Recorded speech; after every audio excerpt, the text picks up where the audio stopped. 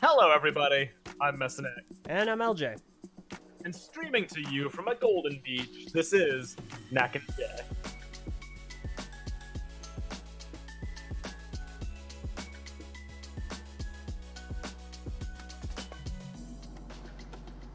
Hello, everybody. I think it worked. It actually worked. Holy crud, I finally figured it out. Gosh dang it. Eljay riding that premiere hype train. uh, don't even begin. Don't It's been a journey with that functionality.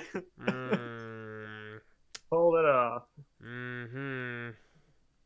Alright, Bravo. uh, so first of all, everyone, go ahead and let me know how it sounds. We didn't really do any thorough testing today, so I would greatly appreciate any feedback pertaining to the audio quality. So, Ye. Most definitely. I'm doing our usual thumbnail switch right now. no, no, no, no, no, no. You don't need to worry about it. Oh, that actually that was part of what got fixed. Sweet. Yeah, yeah, no, no, no. It's all good because what I did is I made a new event entirely. And so what I you have to Oh. make it an event. So you schedule it and then when you log into Streamlabs, it recognizes, "Oh, hey, you've got an event. It's titled this. Do you want to use this one?" Yes. And there you go. It works perfectly. Ooh. Okay. Yeah. Interesting. Yes. Very interesting. Well, Only took me mm, took me The dog is many- hyped. Mm. Fun fact, everyone, I'm not a dog person. Really not a dog person. is Also that not- person? not- what a dog? Not much of a cat person either, honestly. You're a snake person. Mm-hmm. Yes. No, this is this is 100% true. Fair enough. Diggy asks, "What about raccoons? Are you a raccoon person?" Uh, I was more into opossums than raccoons. So. Surprise me. Oh boy. All right. Well, I hope everyone's having a good uh, good evening. Welcome to another exciting episode of, of Nak and Jay. Yep. Uh, this episode will probably have less yelling at each other than last week. oh yeah, no, most certainly. Um, I have gotten a healthy dose of Meso, you're crazy comments yes. uh, in regards to my opinions rightfully about so. 2001. So, uh, thank you, everyone. One of my favorites came from uh, Solaris Magnus, one of the co-founders of our of our group, who Don't call told me anymore. who told me an hour, almost two hours of nothing but Meso being wrong. So, thank thanks for that. So, He is right. Really, really appreciate you. He is Really appreciate accurate. you. Yeah, no, that's that's correct. Um, But uh, this week should be better. yes, we have a bunch of things to talk about very briefly. Yes. Um, I'm gonna go ahead and give out a few disclaimers. First, I don't like doing this often, but you know what? I'm in a good mood. Everything's working. So happy birthday, Anthony. So a member in our YouTube live chat who had that request. So happy birthday. Happy birthday! So, few things. First of all, somehow, some way, we are currently unaffected by COPPA and the changes that went into effect on the first of the year. I don't think So- anybody's been hit yet. Yet. So, tentative. However, we're still going to push this. Uh, TTV message boards, if you're over the age of 13, go ahead and make an account. It's free. It's a good time. Greg Farshtey answers questions. Uh, TTV message boards. That's going to be board.ttvchannel.com. It's in the description. So go ahead and check that out. We have a few topics there that are pretty important, or sort of important right now. Uh, first of all, we have a poll that's only going to be up for another four more days at the time of this recording. It is the top 10 TTV channel moments of 2019, ordered by you. And the way that works is we have a poll, we have 10 moments, you vote for which one you want to be in, you know, any specific order. Your favorites, and then whatever order that's in is the order the list will be when we make the video. More importantly than that, we have two other topics top 10 moments of 2020, which, I mean, that's self explanatory. You kind of just post your favorite uh, moments. You're not going to have a wide selection this early, but, you know, it's there. And then finally, top 10 moments of the decade, because TTV, the YouTube channel, is turning 10 year, uh, 10, yeah, no, 10 years old this year. We've got a topic, basically any videos that have been on this channel or the Nerfed channel. Pick your favorites, pick a moment, submit them. that's going to be a very big list. We're really hoping that a lot of people can kind of go back and dig into things and and really submit some some classic moments. So that topic is there. And finally, we do have a Patreon. It's in the upper right-hand corner of this, patreon.com slash the TTV channel. We're currently working on a stretch goal of 100 patrons for a Minecraft server, full-time Minecraft server on the island of Mata Nui, a faction server, which is a blast, and of course, that is as low as a dollar per month. So it's very, very accessible. You also get access to the Patreon Discord server. So. Why do you always forget our Twitter, Elch? My goodness. It's because I'm. Never have we consistently advertised our Twitter. We have a Twitter account. It's. Is it just the TTV at the TTV or what, what is yes, it? at the TTV channel. Okay, at the TTV. It is channel. important because since notifications will be going away, our Twitter will become relevant and will be the place to go for notifications on when our videos actually go live, when our live streams are going to be, etc., etc. And we're going to start uh, doing it more for every video we release, um, ideally. So that is the the uh, not a problem. Well, I mean, it's kind of a problem. That's our current solution to all fronts: message boards for discussion, Patreon for support, Twitter for notifications. If all three of those things work as they should, we should be able to weather the Copa storm. Copa, not Copa. It doesn't matter. no, however, it matters. Copa. Uh, so, but again, people are like, "Oh, the day is saved. It hasn't happened yet." Uh, no, YouTube never actually promised January 1st, to my knowledge. I think people just assumed that when they said January, it would flip in the new year. It has not flipped yet. It's still coming anytime this month. So, you know, it's still gonna still gonna happen to any videos marked as you know for, for kids or not for kids content. We've gotten a lot of uh, a lot of feedback on the latest COPPA video from people on you know potential remedies we could do for our content potential ways we could not be affected as much as we you know feared we might be that's all up in the air though we're going to continue to assume the worst and continue to drive home our uh, our other avenues to follow yeah. us so please uh please support us pretty much uh, additionally, outside of at the TTV channel, you can follow us individually at at Mesonak and at the Eljay Johnsen. Remember, that's J O H N S E N. Okay. Eljay posts a lot of cool Bionicle trivia. I retweet a lot of things. Yes. No, I've my my Twitter has been very busy the last week. Mm-hmm. Um, I've had a lot of tweets. So what I like to do is I like to try and somewhat, kind of, sort of keep track of Bionicle anniversaries, things that happened uh, back in the day. So, for instance, on January 2nd, I tweeted that 10 years ago this week, which would have been last week, LEGO globally launched the last wave of Generation 1 for Bionicle. It's the Stars. So they are hmm. now 10 years old. Uh, in addition to that, I have no idea whether or not that global release happened the end of December because I have a picture which I looked at the properties for and it said the picture was taken on November 27th, 2009. Oh my god. So I'm not totally sure if I got the stars around Christmas, which is normal, or around Black Friday, which is incredible for a winter release of anything. It was so. Black Friday. I remember that well.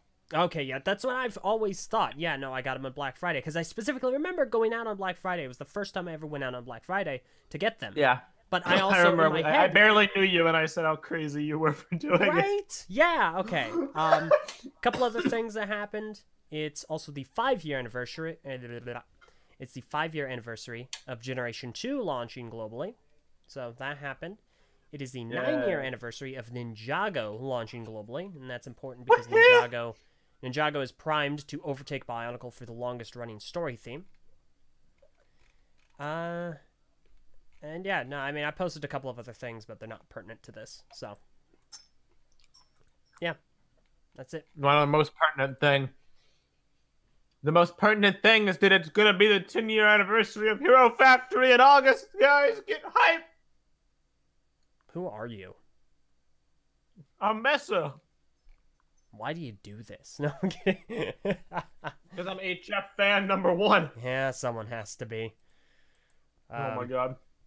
I also released for the beginning of the year a new review series that has been potentially the most requested video series for our channel. I think the only other video that has been requested more, if not right alongside it, would have been Biocraft.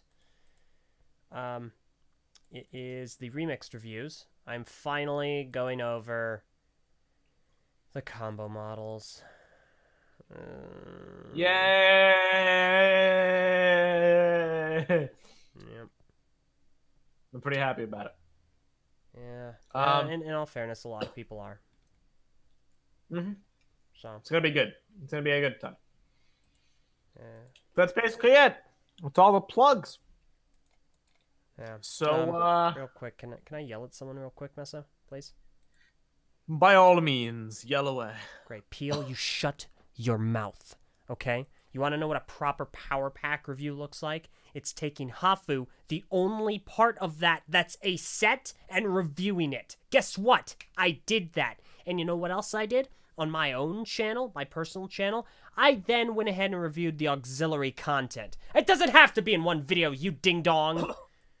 You want to you you want to make a, a power pack a proper power pack review? You review it. You go ahead, you spend the money, you buy the set, and then you can review everything that comes in that box. But you know what? As far as I'm concerned, I reviewed the set. So you know what? You can stuff it. You can stuff it like I'll stuff bullets in your head in Halo Reach easily. Bruh. I'm sorry, I just had to put That's that a uh, uh, that's a hyper bruh moment. Mm. Rebel read a comment from Sakota. Most anticipated review. Inika and Piraka cereal toys. Why'd you have to do that to me, Sakata? Why? Why? Why? He's been badgering me for years. Hold up, Eljay. What? I just realized the potential terrible future. What? So now you're very proud of having all your Bionicle sets, like, or you like, a review you did of all Cut your to Bionicle the sets. in one- chase. What if Sakota's project becomes an official set? I mean, that's not a problem, to Meso. do it again. I, you have to do it again. Meso.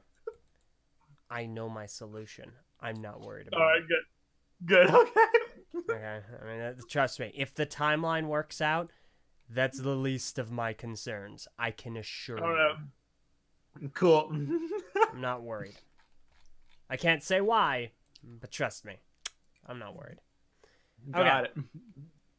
Let's go ahead and jump into Let's things, about-. Are you excited? I'm excited. I'm very excited. So last week we we finally talked about 2001. We started from the top of Bonkle, where it all began. And the one point we kind of agreed on, you know, we, we disagreed on a lot of stuff, Mm-hmm. but the one point we kind of agreed on is that the sets were were quite good. Bionicle started off very strong. 2001 was pretty much just what it needed to do in order to kickstart the theme into uh, profitability and popularity. What I would like to do in this episode is kind of extrapolate that and talk about Bionicle sets in general. In particular, the ones we really like and the ones we really hate. Or more accurately, the best and the worst. Because there's a lot of high highs. There's a lot of low lows. Mm-hmm. Um, because Bionicle set design is fascinating. There's like three or four topics we could do just about the sets alone.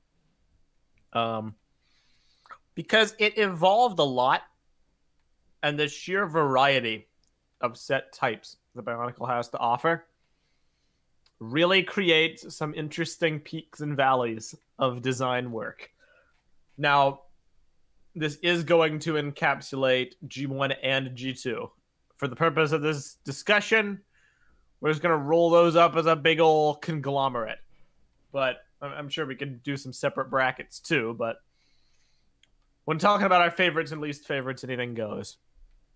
Um, we were talking about this a little bit before we started, and we came to the interesting realization that from my perspective, I don't really have a favorite set Which weird. necessarily.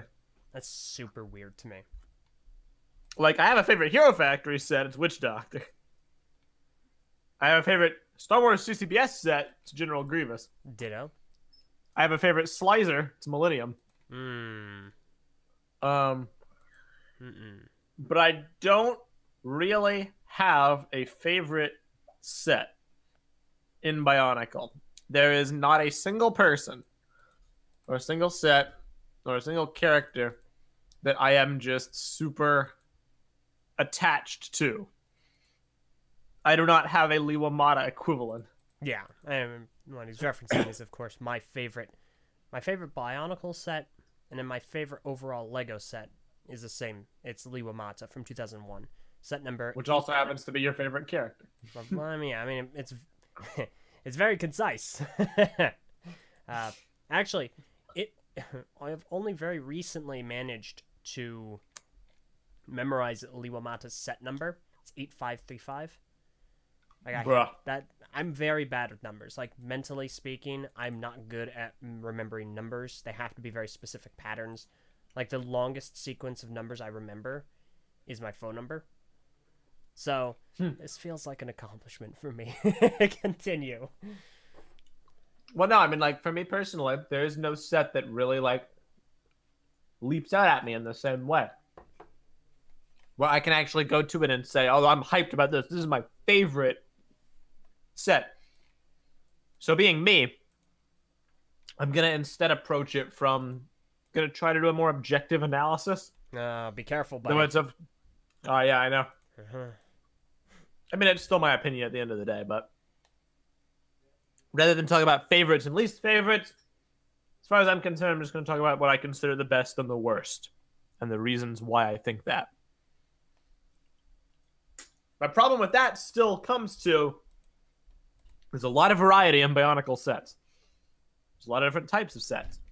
There's small Matoran, there's Toa, there's big, you know, Inika build Toa, there's Titans, there's vehicles, there's system playsets, there's G2, which was a whole category unto its own.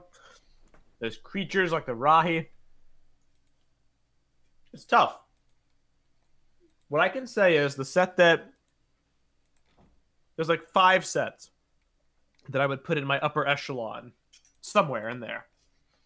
And that's Umarak the Hunter from G2. it's probably my favorite Bionicle set aesthetic wise and color wise. I loved them to death. Umarak was legit. Umarak was so good. Then there's the uh, there's Maxilos and Spinax and Brutaka, which I count among the best Titan sets. There's Ekimu the Mask Maker, which I personally consider the best Toa uh, to ever exist. best Toa build, Mhm. rather. And uh, then there's a Thornatus V9, which is my favorite vehicle set.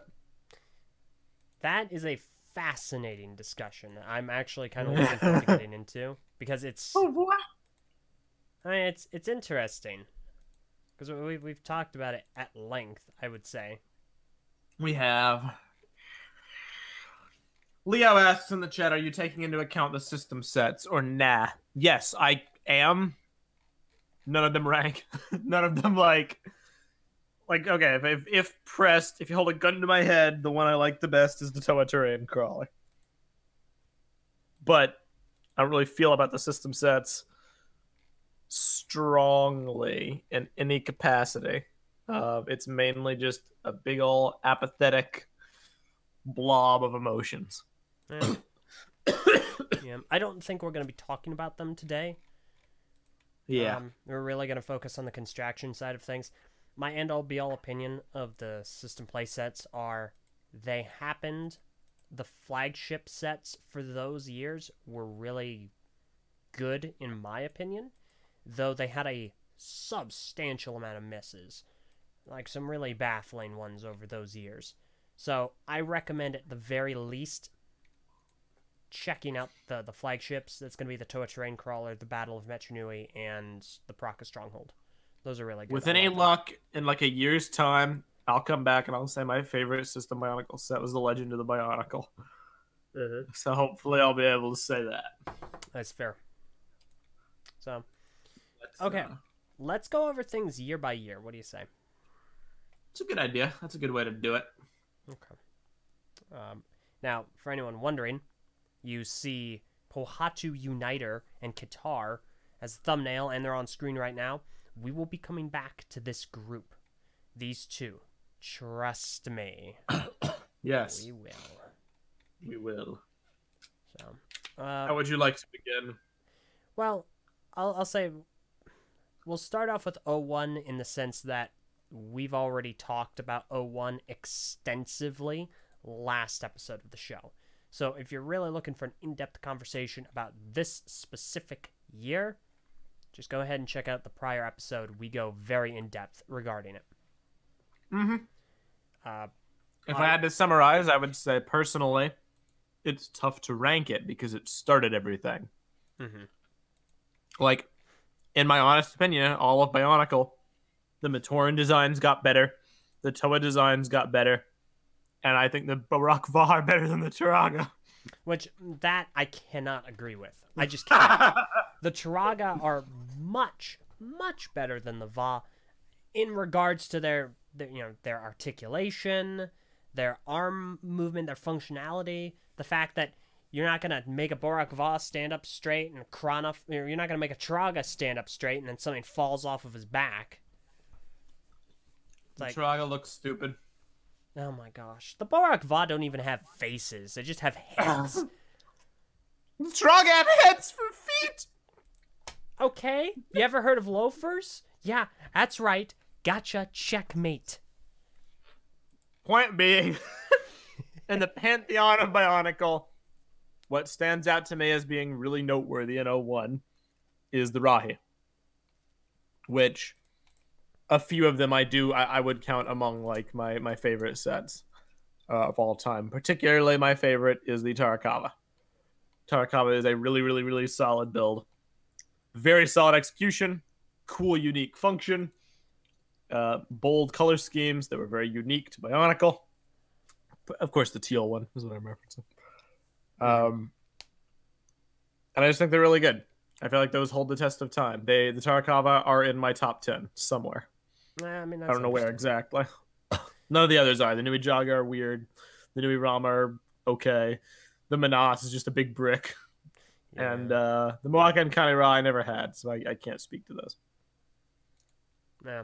No, uh, obviously enough, the pictures we're going to be showing on screen are from my collection. No, no surprise. Uh, this is from the recap finale, so I can attest to having experience with everything. Not, not, not, you a, better have at this point. not, not to brag. I don't want that to come off as, as egotistic. Um, but yeah, as far as 01, it ranks number one. It's my favorite year set and story wise. My favorite set is amongst this wave. I think that the Rahi are really fun. The Nui Rama, particularly, are a lot of fun. I enjoy those greatly. Muaka and Kane-Ra are really good. Uh, Tarakava, I, l- I like the Tarakava. I like them more conceptually than I do actually. And there's no real reason for that. I just, I like the idea of them more. They're very awkward. Yeah, It's they, one they of their can be. strengths. I like how they're they're unique. All other Rahi, there's like a real life equivalent to it, but the Tarakava are just like weird lizards, Well, I, I finally figured boxing out. gloves. I Dread. finally figured it out, and it took me building the the the sand Tarakava to finally figure out what they're supposed to be. Because throughout my entire time being a fan of this franchise, I've always heard them be called lizard-like, lizard-like Rahi. What what lizard looks like that? well, and then I finally built the sand Tarakava. They're, gosh dang it, they're crocodiles. Like the sand Tarakava head looks like the top of a crocodile head. And it clicked. That's exactly what they are. They're crocodiles. It makes Crocodiles definitely have boxing gloves. Listen, okay, know, and we're moving on. Uh, New cool. Manas are also unique and cool, though you're not going to get much playability outside of having batteries and a working motor. Um, one I, I've already had to replace one of the motors once because one side of it kind of went. So be careful about water. Just just when you're cleaning it, you might as well just take them both apart and just scrub them down yourself. Yeah. So you got to be very careful. I got to test mine again once I build them back to normal. Make sure that they're okay. Rock'em sock'em crocodiles, people are saying in the chat. Crock'em sock'em, Okay, come on. one guys. might even say. I've coined this term back when I reviewed the friggin' Tarakava. Rock'em Sock'em Rahi. No one ever uses that. It's so it's perfect. Rock'em Sock'em I Rahi. like. I enjoy Crock'em sock'em personally. Okay. Alright. Let's go ahead and move on. All right. Yeah, I mean that's it's not like to say those are the only good sets in 01. Like I think the Mata are very good sets. It's just in my when I look at my favorites, I think the other ones are I think the other versions are better. So all what did 2002 have again? Was that the the Nuva and the Bohrok? So let's move on. 2002. so 2002 had Nuva, Bohrok, Va, Bahrag, the Master Builder, the Boxor, and the Exotoa. Oh boy. I'm gonna be real with you. Be real with me. Not a single set from 02 I would count among my uh, among my favorites. I I, I understand that. Uh, and 02 honestly- is like my second least favorite Bionicle year. Well, third least favorite. so here's the thing. Uh, very quick, I'm gonna put a disclaimer. If everyone's Fourth gonna start like spelling character names out letter by letter, I'm gonna start in, I'm gonna start enforcing spam rules. I'm gonna start like uh, putting people in timeout. Uh, anyway, That's fair. Uh, yeah, 2002. I mean, the Bohrok are excellent. The Bohrok are simply massively iconic. I think that it's hard to go wrong with them. The issue is you pick a color and there's your set. There's your experience. Yeah, they are they are more clone than anything else from Bionicle, I think. Maybe the Vahki are more clone. Um. Well, Well, even the Mata had slight variations well, in well, limb. yeah, it's hard to call the Mata. Like that's why I reviewed the the Mata individually. It's because I can't really call them clone sets because they technically are they're they're built on the same base, but they have enough variation that they have a different feel to every single one of them. Like I can't call the experience for every Mata the same. With the can. Exactly. Um, but that being said, it's a great experience. I would say that the Bohrok design counts for being an excellent, like it's it's a top ten worthy design. This is true. It's uh, definitely among the best designs that Bonkel had to offer. Yeah. Not much I can agree with. So maybe I guess the Bohrok archetype is up there, but I don't know. I still wouldn't like. This is what I mean. It's unfair sometimes to categorize like canister sets in the same grouping as like Titan sets or vehicle sets because I'm thinking of like what I consider my favorite set, and it's really tough to compare a Bohrok to Maxilos. Yeah, I mean I understand that. Maybe if I was looking at uh, at categories in general, or in waves, the Bohrok would be up there because they are some of the most immediately like iconic, recognizable, creative builds. They're just very, very, very samey. um, but yeah, I mean that's pretty much 2002. There's hmm. also nothing I would really consider a least favorite in 2002. Just a lot of things that are only okay, like Cahdok and Gahdok are only okay. Exotoa only okay. Yeah, well, okay. Cahdok and Gahdok, I think, are good sets. The Exotoa is an outright disappointment. I was super looking forward to that before I got it for the review. It's like, oh yeah, Huh. you put a Toa in, it looks awesome. This is gonna be really cool. Only to realize, too late, it doesn't have knee articulation, like at all. And I don't know why I thought that it would have. It just doesn't. It's not there. It doesn't exist. It's a stiff, stiff figure, and when you put a Toa into it, it's even more stiff. It's the construction version of every Lego mech for the last five years. Yeah, I mean, basically, and I just yeah, it really disappointed me. I mean, it's not the worst thing. It's just it really did not meet any of my expectations. No. Um, I remember feeling very similarly about it when I was younger, and I never owned the Boxor, but from pictures, it doesn't look particularly uh particularly interesting either. Eh, I, I like Um, the Boxor. I, I think it's a lot of fun. It's a very clever design, and I think that it, it was definitely the more fun vehicle from that era to me. Yeah, that that I'll agree with. It's definitely better than the Exotoa. Um, the fact that it's a vehicle for a Tahunga build means they could, you know, make it a little bit bigger because it surrounds Nuparu, you know. Yeah. Um, so I like it, but again, it's it, it, that really 2002 doesn't really factor in to what I'd consider best and worst, which is kind of uh, it's kind of why it's on the the lower end of the years for me, is because it doesn't really evoke strong feelings one way or uh, or another. I, I It's just kind of there. the story does to me. The sets, I agree. Outside of the Bohrok, probably not. Even when it comes to the Nuva, the Nuva, which are supposed to be an upgrade, I don't like basically any of the Nuva over the Mata. Yep. The armor's overpowering. The masks are bizarre. Uh, the dual functionality weapons were a cool idea. I mean, they're a cool idea that were done better in later sets. Is this true? So, Just kind of there. It's just kind of a year that happened in Yeah. Bionicle's history. Yeah. Now. Oh, three is where things kick off. Yeah, okay. So this this is a pretty big year for not only Bionicle but construction in general. This is where we're introduced to the concept of now get this. Hold on to your seats, ladies and gentlemen. Knees. Yee. Yees. Okay, I really I was hoping I was hoping you wouldn't say that, but you did. the yee articulation.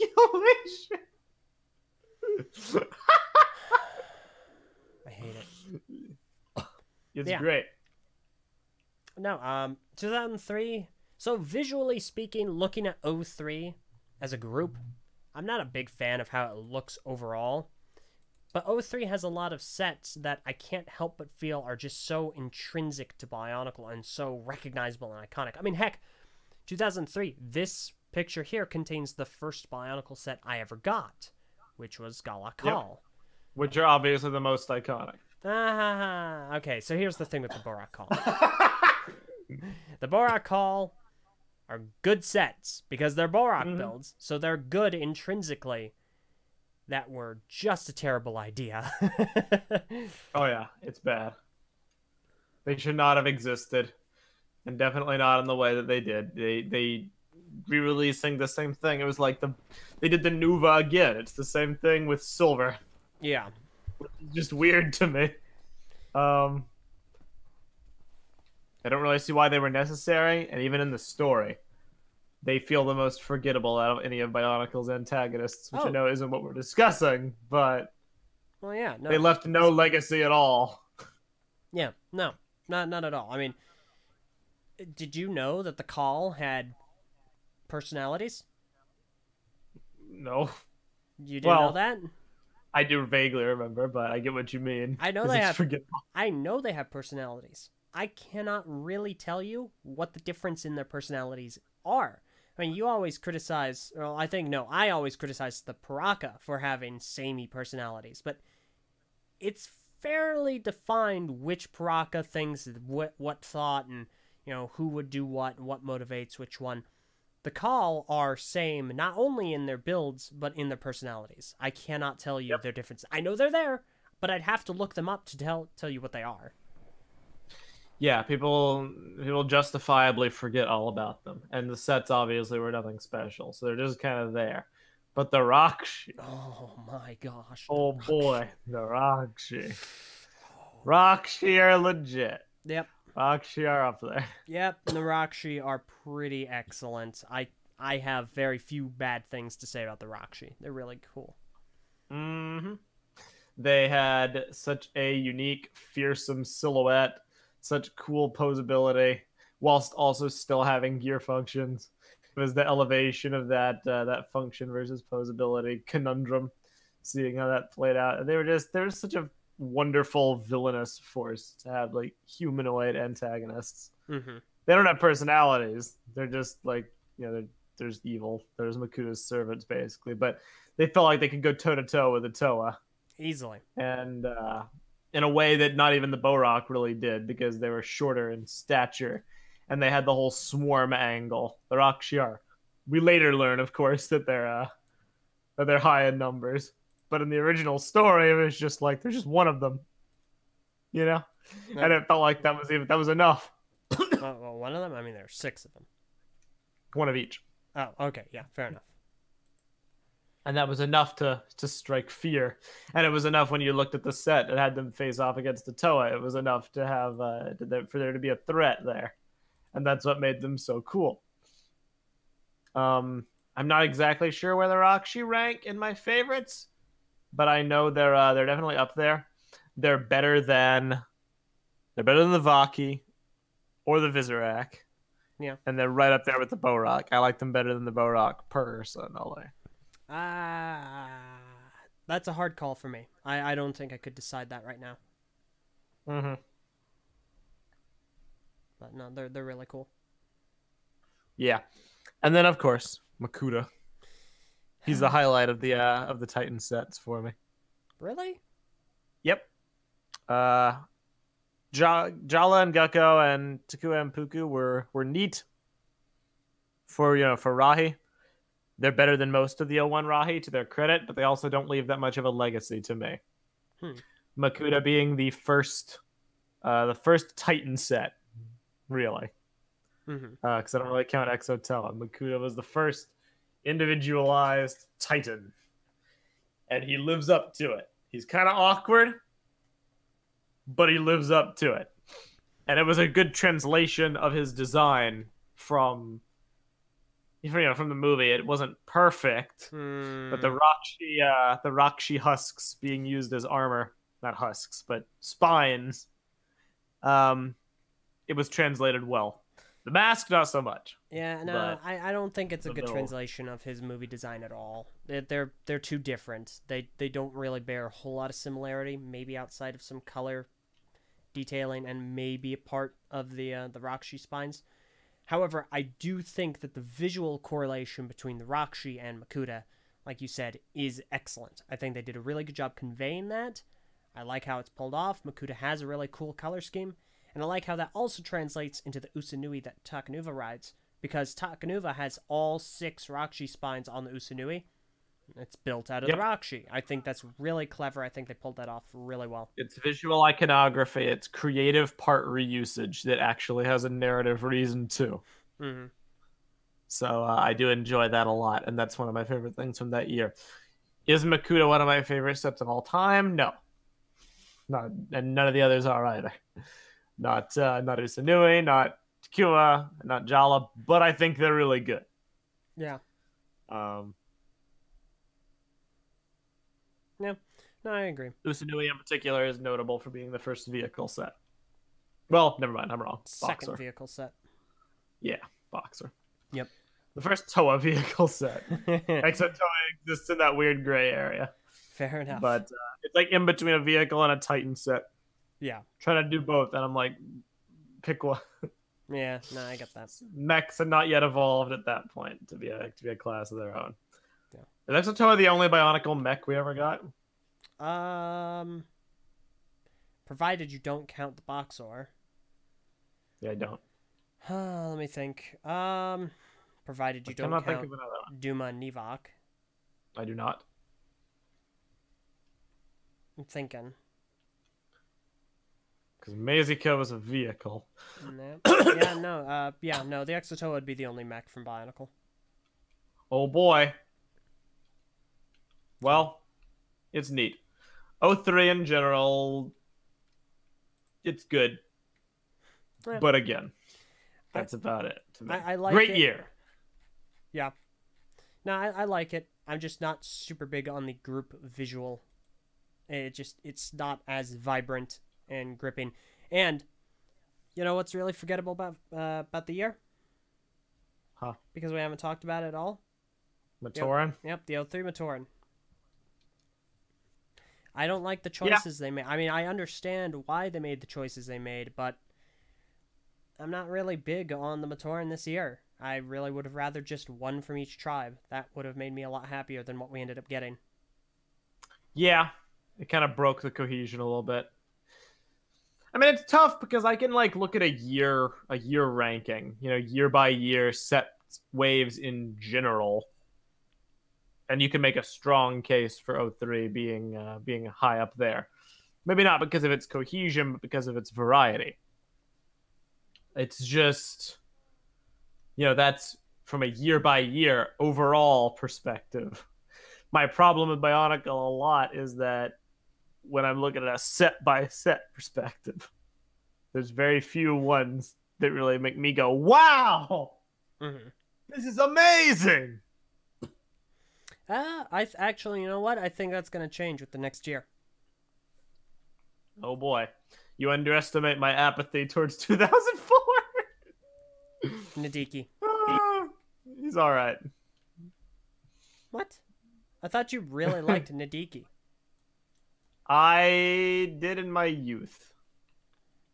Did you ever get Nidhiki? I did. I got him twice.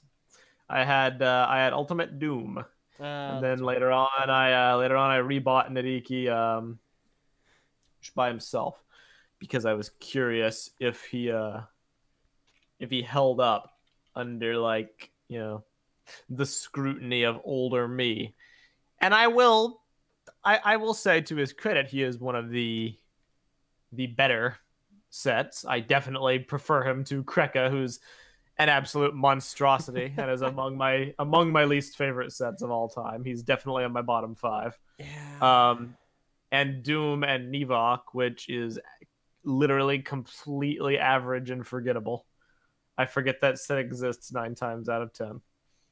So yeah. Nidhiki is definitely the best of the bunch. He's creative. He's distinct. He's got a lot of posability. He's got uh, you know some cool functions. So yeah, I would not say he's a bad set by any means. If there was one set, I would say like is the highlight of 04, it is de- it is definitely Nidhiki, but he's not he's not in my top five Titan sets if he even counts as a Titan set. He does, right? He falls under that warrior category. That's kind of like, eh, well, they're not massive, but they're not small either.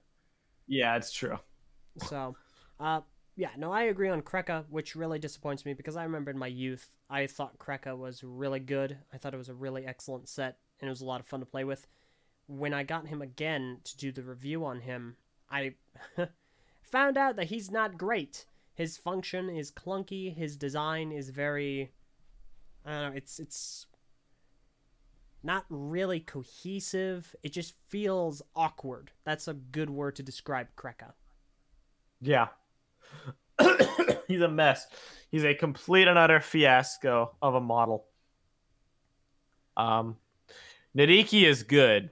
And like the the spindly look works for him, I think. It's just the me of today just looks at him and is like, that's a lot of technic. I mean, it's a lot of very visible Technic beams. Yeah, but it's nowhere near. That's a lot of Rahi. That's a lot of no posability in the legs. yeah, yeah, but I, I still is, like him. Loss is modern day Nidhiki. No, no, no. Nidhiki is much better than Loss. He okay. is, but I mean the same the same principles apply. No. We can't have leg articulation for a multi-leg yeah, but Nidhiki Spider, has waist articulation. He has arm articulation, neck articulation because he has a head. That's true. They're they're not. I, I, I, don't know. Loss should have been built like Nidhiki. He should not have been an actual spider. He should have been a humanoid spider crossover. I just find the flimsy argumentation for why Loss did not have leg articulation. Like the same thing could be applied to uh to Nidhiki. It's like, oh, it's too hard to pose. I'm like, is it though? Is it actually though? I think I think it works for Nidhiki because he has a lot of vertical movement, and that he, he doesn't need the the leg articulation as much because the legs can still move. You can still get some poses out of him, and he has a pseudo transformation. Yeah, what was the point of that? Was it just his flight mode? Well, I mean, he has. I mean, there is his flight mode, but then there's another transformation where he turns very crab-like, and I, honestly, it's it's such a forgettable transformation that I even forgot it in my review of him. It's like, Bruh. okay, he gets really low to the ground. Ta-da! It just, I don't know. Um, All right. Speaking of transforma- uh, transformations that really don't wow me, the Vahki. The Vahki are not wowing figures. I like them, but they're not ones that I rank very high. They're some of the more average construction sets, and they are probably my least favorite of the pre-individual villain villains. Mm-hmm. I think I might like the Visoraks slightly less. I think they might be my least favorite, but the Valkyrie my second least favorite. Dude, I hate 05. Eh, okay, fair enough. My final comment on 2004 is the Metrutoran. Wait, no, not my final comment. My second to last one. Metrutoran are weird. I feel like I should like them. And yet, I, I do like them. I think the Metrotoran is a very fun design. I like that we have a more standardized look for the Matoran. You know, this is a, a standard, typical look for a Matoran because they're Metru Nui Matoran. I actually like that. At the same time, they're really gray. they're really gray, and they also, like, people criticized original CCBS sets for how they looked when viewed from the back. Uh, yes. All right, that's that's you, true. you'd have to mess around with the Metrotoran then, because boy, they look horrific. They're Yeah. they're really bad. However, oh yeah, and also the blue pins are like the most egregious in any set ever on the Metro Tour. No, no, Because no, no, Everywhere. no, no, no, no. You didn't get Takanuva 08, did you? I did. I love 08 talking to him, but you're right, he is bad. Yeah, yeah, yeah. Metrotoran, they're everywhere. They're on every one of them. There's like five. Mm-hmm. Uh, six. Oh god, you're right, the neck. Yeah. They're Yeah, they're, no. they're horrible. It's pretty bad. Um, I, I still like them. I do like them for what they represent, not necessarily what they are. And yeah, your back comment, it rings true because I recall even in this image, I have their disc launchers on their back to cover it up. Mm-hmm. So. They uh, did introduce two tone masks. Uh, I think yeah, those debuted here first. Yeah, no, they did. They did. Um. So yeah, I mean, I like them, and I like recolors. Like the masks are recolors. So. Now. Yeah, I mean, there's my least favorite Matoran build. Wait, no, that's not true. Well, No, it's not true. I know what your least favorite Same. Matoran build is. the Avmatoran are horrible on principle, but they look better than the Metrotoran to. I don't know if I can agree with that. I mean, we'll, we'll get into that. We'll, we'll come back for comparison. Something 04 does spectacularly, though, is their Toa builds. The Toa this year knock it out of the park. I would easily suggest they're my second favorite Toa build. Like, you got I- Mata, Toa Mata, then Toa Metru.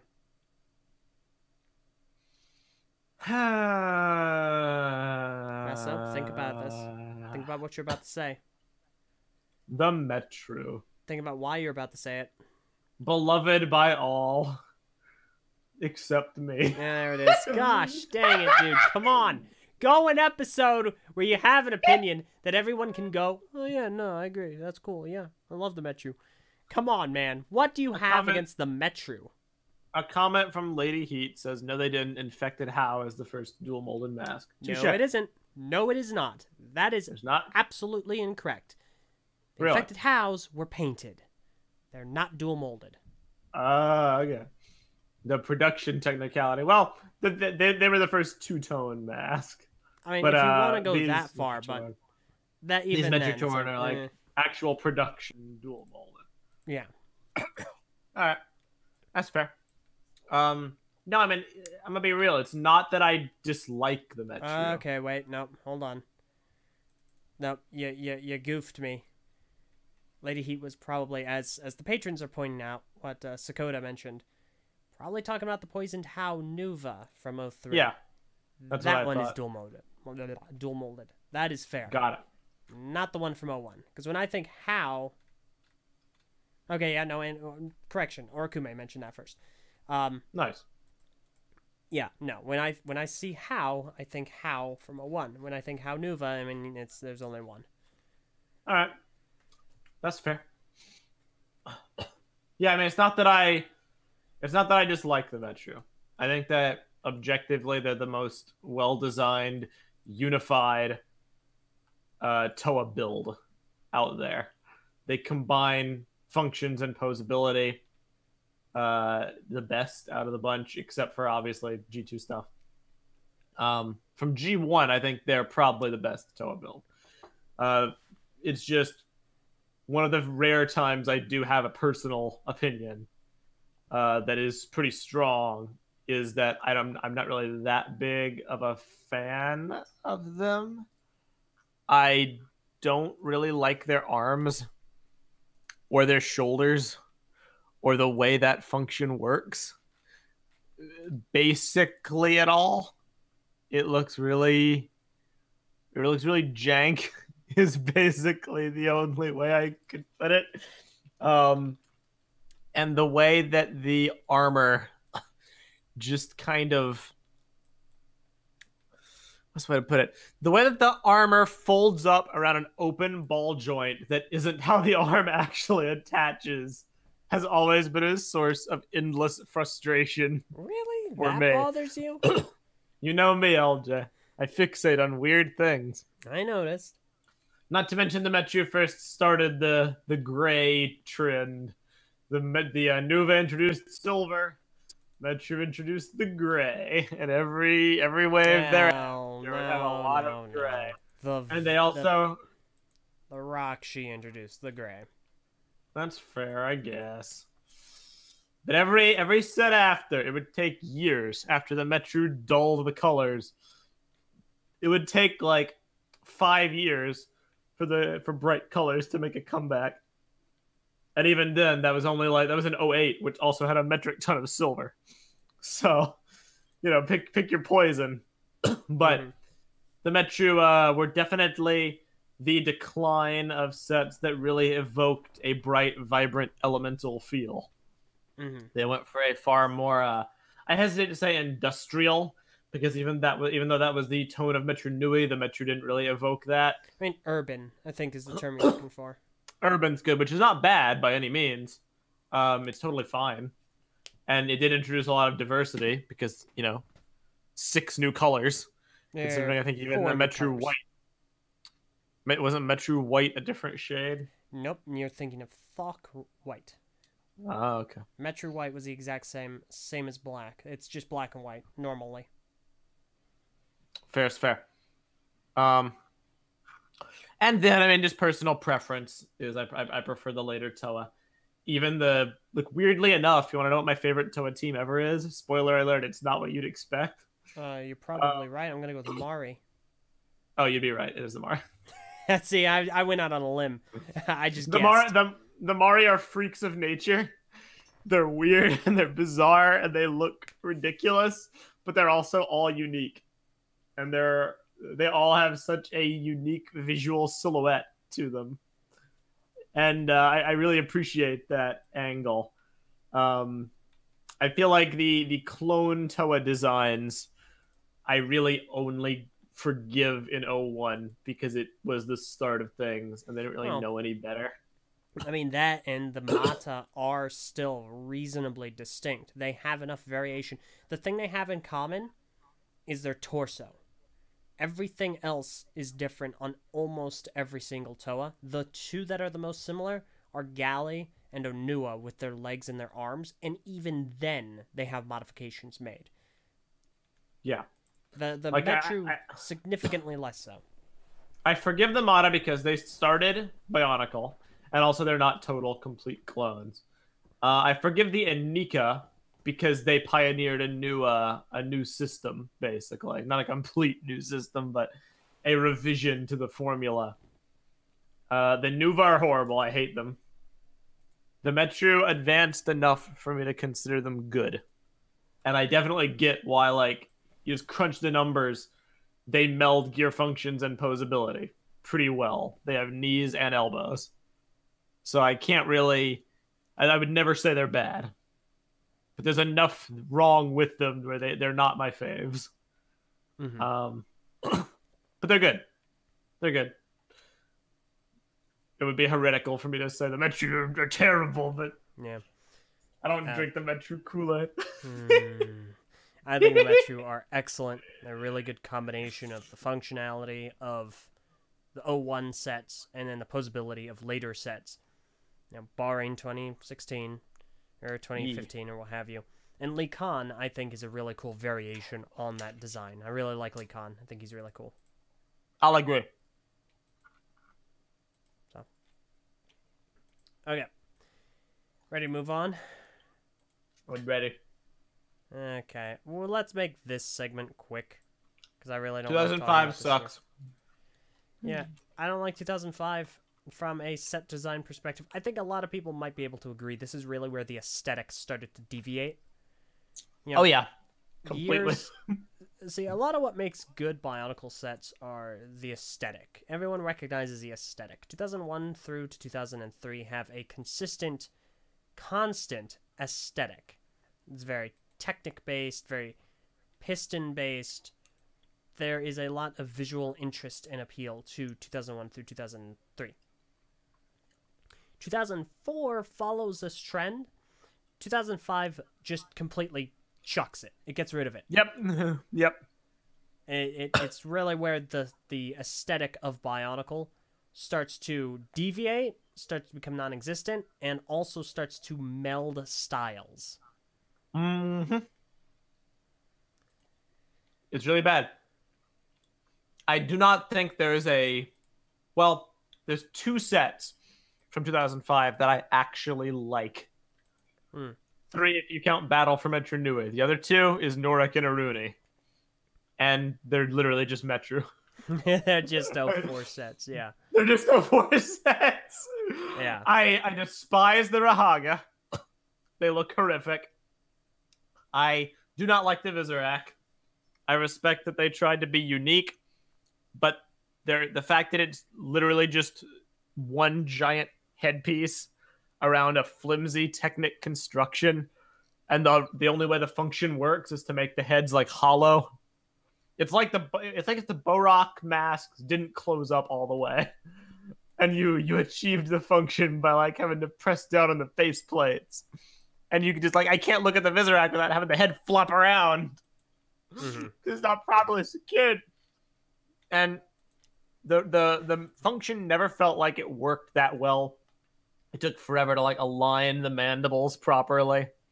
The other sets did the Rotuka spinners better, both the Rahaga and the Hordika. Um, I- guess the Visorak worked for what they were trying to do, which was be spider-like creatures. and even then, they had four legs, so Yeah, four freaking legs, so no credit for partial answers, as the meme goes. Um, I don't know, man. Did not like the Visorak one bit. But again, it's not like they're horrible. They tried to do something other than just humanoid villains. They tried to be the next Bohrok, even though they fell flat on their giant faces. I still give them like some respect. But the Hordika are just. Mm. Mm. yeah, no, I don't I don't like the Hordika. I don't think they did a very good job. bad. Hordika are bad. There's one positive thing I will say about the Hordika, and that is they had cool weapons. Yeah. Well, see, I mentioned with the Nuva that they had the dual weapon functionality that was done better in later sets. The sets I was referencing were the Metru, because the Metru all had dual weapon functionality, and I think they did a really great job in in pulling that off. Uh huh. The Hordika tried to do dual weapon functionality with one set of tools. And even then, it wasn't really a dual function, it was just a built in function. Everything else was this weird plastic and rubber mix. Yeah. It, it, it's just, it, it's just weird. It's really weird, but I mean, I, I, I like their their look. They tried to be the most elemental um, weapons ever. And I think they succeeded in that, uh, with the exception of Glatorian weapons. You know, you look at Vakama, and it's obviously fire. He's holding a torch. That's all it is. Whoa. Nuju's Yeah. got like ice picks. Um, Matau has like the katanas, and then it kind of starts to fall apart because none of the others, you know, I, I guess Onewa's look like Onewa's looks rock esque. Um, Does it really though?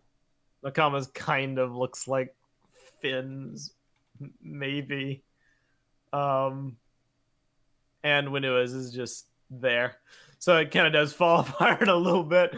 But those those first three, I, I I enjoy. That is it. That is completely it. The Hordika started the trend of like kind of ditching traditional mask design in favor of these other things. Subsequent years would obviously have traditional masks, but I think the Hordika marked a fundamental design point change for how masks were designed because uh, they, they kind of go off the rails a little bit in subsequent years. Mhm. And uh, I, I- I don't like them, man. The asymmetricality, the worst gear function ever. It's completely pointless.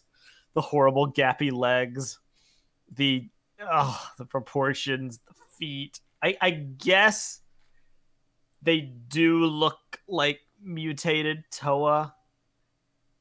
Kind of, they, they kind of work, you know, a little bit. I just don't think they look good.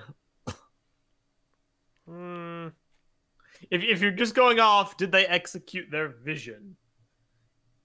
Yes. did that vision was it worth executing? No.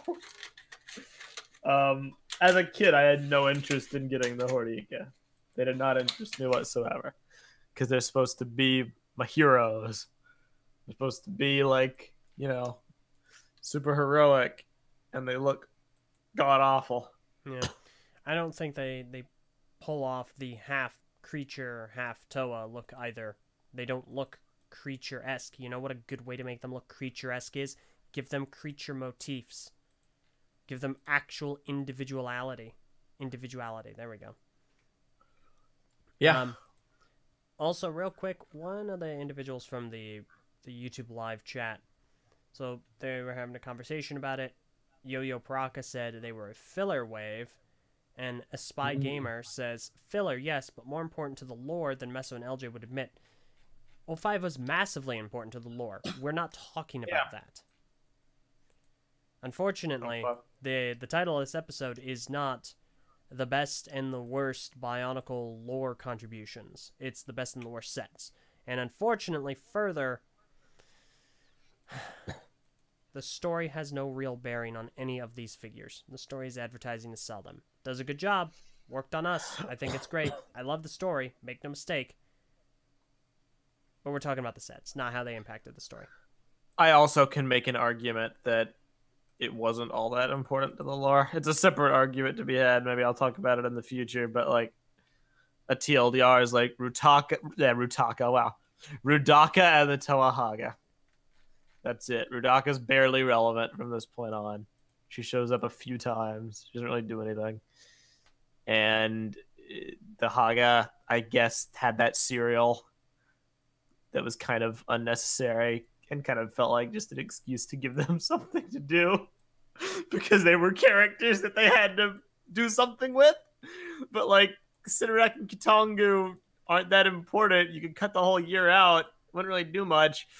It existed to give an army, like a Visorak army, so later on they could use the Visorak in the story as like, oh, it's a threat of this giant army of spiders. But like, there's already Rahkshi. There's already like Bohrok. We have enough like we have enough horde enemies.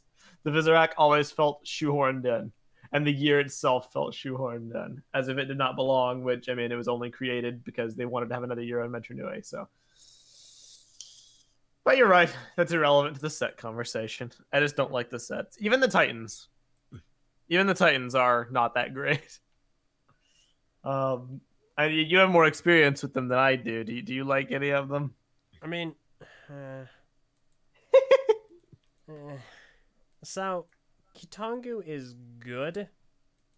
He's his arms have a they leave a lot to be desired. And there, are good aspects. I mean, Keetongu, his color is a brand new color. It's why we call it Keat Orange. Um, so I mean, I like Keetongu because he's a little more unique, though he's definitely not Rahi esque. Sidorak is my favorite because I like the color scheme. I think that the the build was the most engaging for me. Roodaka is also a good set, though again, back to the aesthetics. She aesthetically does not look like a Bionicle character. Just, she No. just doesn't. No, she does not with those spiked boots. Hmm, We're moving on. Call back. so, yeah, uh, the Titans leave a lot to be Oh, desired. boots. And oh, yeah, that's right, hooked boots. Haha. Uh, if y'all notice, we're not talking about Voporak because I don't really count Voporak as a set. He is a combo model that was advertised and he- they tried to sell him as a set. Here's the thing. This is really going to be my end all discussion on the system, uh, on correction, on the combo sets. So this is going to be Voporak, Takuta Ultimate Dume, and Kardas. Okay? None of them are as good as one set. They are only half as good, or if you have three in one, they are only one third as good as a single set on its own. That's because they try to be. Again, Meso did the same gosh dang thing. I'm not talking about all combo models. I'm talking about these specific four Takutanuva, Ultimate Dume, Voporak, and, and Kardas. Those four. The ones that were sold on stores in boxes that people have, have constantly been like, well, they're sets too.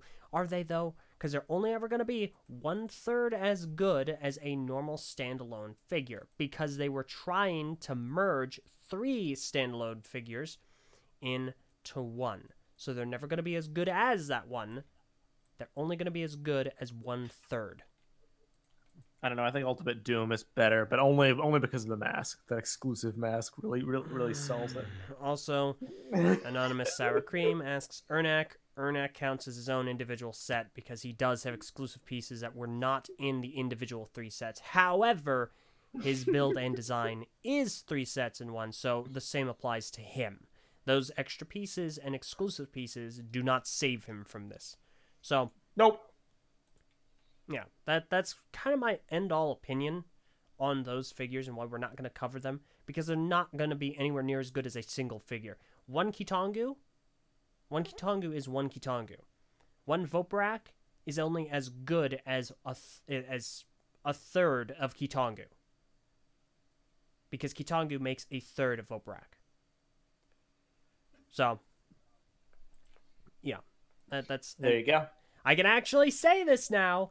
I have experience with Voporak. I have these four. I've I've gotten to build them.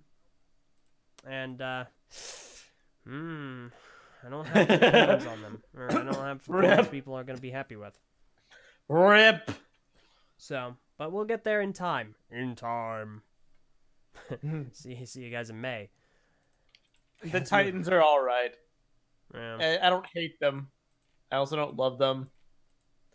And again, Norik and Iruini are only good because they're Metru builds. All unironically, my favorite set from the year is Battle of Metru Nui. Mhm. Um, I mean I like it. and I think that was a good one too. that is 05. It is my second least favorite year. Um, also, if I if I said I hated Metru builds, as Dark Talking About points out, that's just an exaggeration. Objectively, they're pretty good. I just uh, th- th- there's some there's some quirks, some quirks and quibbles with them that, that bother me a smidge. Yeah.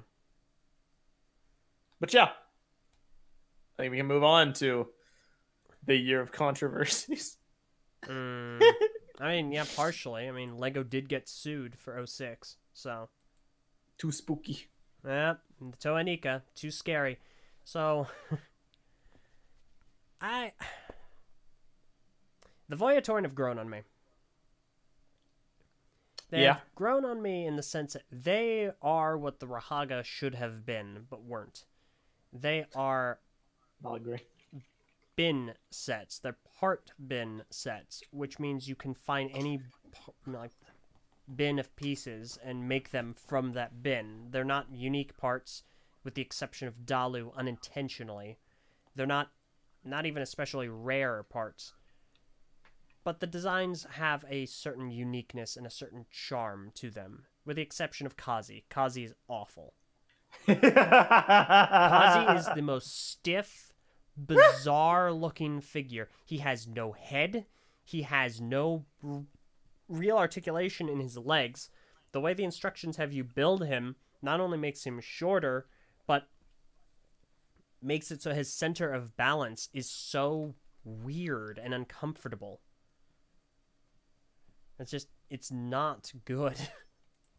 I never liked your torso build anyway. Oh my gosh. um, yeah, I'll go ahead and I like the Voyatoran as well. Um, they're good. I uh, I always liked them, particularly Garan. Garan's the best ever. Is he really though? Ah, Mm, good- you good really see the character arc in his set. Yes, the character arc is quite wonderful because his weapons are like three times as big as his arms, Oh my gosh. um, which represents the burden that he has to carry. Oh my gosh. Having to lead the Voyatoran resistance. Uh, those weapons, those weapons are a, a plastic allegory for his responsibilities Okay, you're done. and the weight of his mortal coil. okay. So, Voyatorn or whatever, not my favorite Matoran builds by no means. But you know what also isn't really my favorite of anything? Huh. Most of 06. Aw. I mean, listen, I mean, as 06 is like number two fan, I agree. I like 06. However, we've continued the trend of disregarding the aesthetic. We we have a new aesthetic now. The Piraka limbs, the Inika limbs, they've introduced a new look and feel. New weapons, new armor, and so on and so forth. New, new templates. Yeah, exactly. Two new templates. So the this year introduced the Piraka template, uh, or more would it be quicularly quicularly no I don't know, the Inika build. The Inika build is infamous for its straightforward principles and the fact that it makes for a reasonable humanoid template, and because it got used for the next three years. Essentially, um, it's a big deal. I figure we might talk more about the fundamental shift in design philosophies throughout the years and the standardization, maybe in a future episode. I think for now, what we can say is, eh, I I, I like the Inika build. I don't know about you. People hate it, but I think that there is a perfectly fine perspective that your action figures need to be able to articulate. Um, they just didn't have the technology at that point to do what uh, to do what 2015 was able to do. Or I guess they had the technology plenty fine. They just didn't have the creativity to make it work back then. Uh, and or their focus group testing just said ditch functions. But like as a build, I like the Inika build. I just feel like the 06 set utilized it the worst out of any year Mhm. uh, because it was in its infancy. It's kind of like kind of like the. Mata, kind of like CCBS, and kind of like earlier I said the Mata. It's like I don't I, I like the Mata less than like every other Toa iteration, um, except the Nuva, because I felt like the designs evolved throughout the years. They got better, maybe not the aesthetic, but they got more creative with the builds and what the builds could uh, could offer. Doesn't mean the Mata don't deserve respect because they pioneered it. I feel very similarly about the Inika. I think the Mahri are better, Barraki are obviously better. Mistika and Phantoka are arguably better. and the Glatorian are way better. Way better. But the Inika started it. It's just they are the least effective Piraka too. Piraka really aren't great sets. I'll defend the Piraka to death from a story perspective. Set wise, I don't like them for much the same reasons as I uh, don't like the Visorak. The head monopolizes everything. Mm-hmm. Uh, the spines were very, very not good. Uh, good idea, eh, poor execution. Yeah, not big on the spines. I mean, the Piraka look cool, but I get tired of them after a little while. Mm-hmm. So They're very cloney. They all have the same silhouette, and it also is a silhouette that, by its very nature, restricts posability. Yeah. Uh, which I'm not big on, just on a conceptual level. Yeah. no, and um, they tried to include some differences in these. Like if you build them in the instruction booklets, two of the Piraka have differences in their builds. Avak, his right arm is flipped from the others, and so Thok, in all of his promotional mate- uh, media material appearances, his knee armor, this thigh armor, is like all of the others. In the instructions, it's flipped. Thok of all of them. I don't know why, and Wow. it just it doesn't matter. It simply such, does such not matter. distinct, very, very creative. Yeah, Much no. identity. It doesn't matter at all. yeah, I don't like him. Um, I don't like them that much. I don't hate them because without them, I never would have the skull aesthetic that I have now Mhm. because of the, the wonderful Piraka skull piece. Which you have Eh. traded out. I have, yes. And the Inika are really cool. Um, I enjoy how weird they are. I enjoy how like c- completely oddball their their look is. I like the rapid fire Zamor launches and glow in the dark sword. And uh, yeah, I mean the Inika are cool. Oh. I like the idea of of a lot of okay. Honestly, I like all of the Inika outside of their heads. Their heads are the worst parts about them. agreed. I just I can't also- I can't do it. They also started the transparent piece rush. Uh, yeah, I guess kind of sort of with uh, Matoro and Jaller. Yeah. Yeah, that were always a big hit. It's just like their builds, their designs. They they get more interesting as the years go on. The Inika build evolves, but like as far as the sets themselves, they're totally fine. Uh, they're probably my second favorite Toa, um, just from like a design perspective. I like them a lot. Yeah, no, The I- I real strength understand. of 06 is the Titans. ish, kind of. The ish. You gonna hate on my boy? Which one is your boy? Axonn Umbra? is obviously the best. Okay. So Umbra is Umbra is the best Bionicle set ever made. You shut your heretical mouth. Oh, here we go. what, you gonna start a new cult meso, the Umbrians? Huh? Umbrians rise up. no, Umbrians rise stop up. it. Stop it. Every Uh, color represents a different spectrum of quality that Umbra masters. So, first of all, Ernak, I count him as his own set. He's awful. I don't like him Yeah, because again, it's not a good build. It's flimsy. It, it it's restrictive. It's I don't like it at all. There's not a whole lot that it does to redeem itself or justify its existence. Umbra is weird. Legitimately bizarre because I had always been under the impression that the worst Bionicle set would, you know, it could be considered Ketar because Ketar is a flimsy build. He has this awkward color scheme of all these different shades. Eh, He doesn't really look that great. He doesn't function very well. Brick Fair 2018, I was talking about this, and someone to the table to my right turned over and he said to me, I don't know if he wants to be known, so I'm not going to mention him. He says, What about Umbra? Umbra has no unique parts, no new recolors.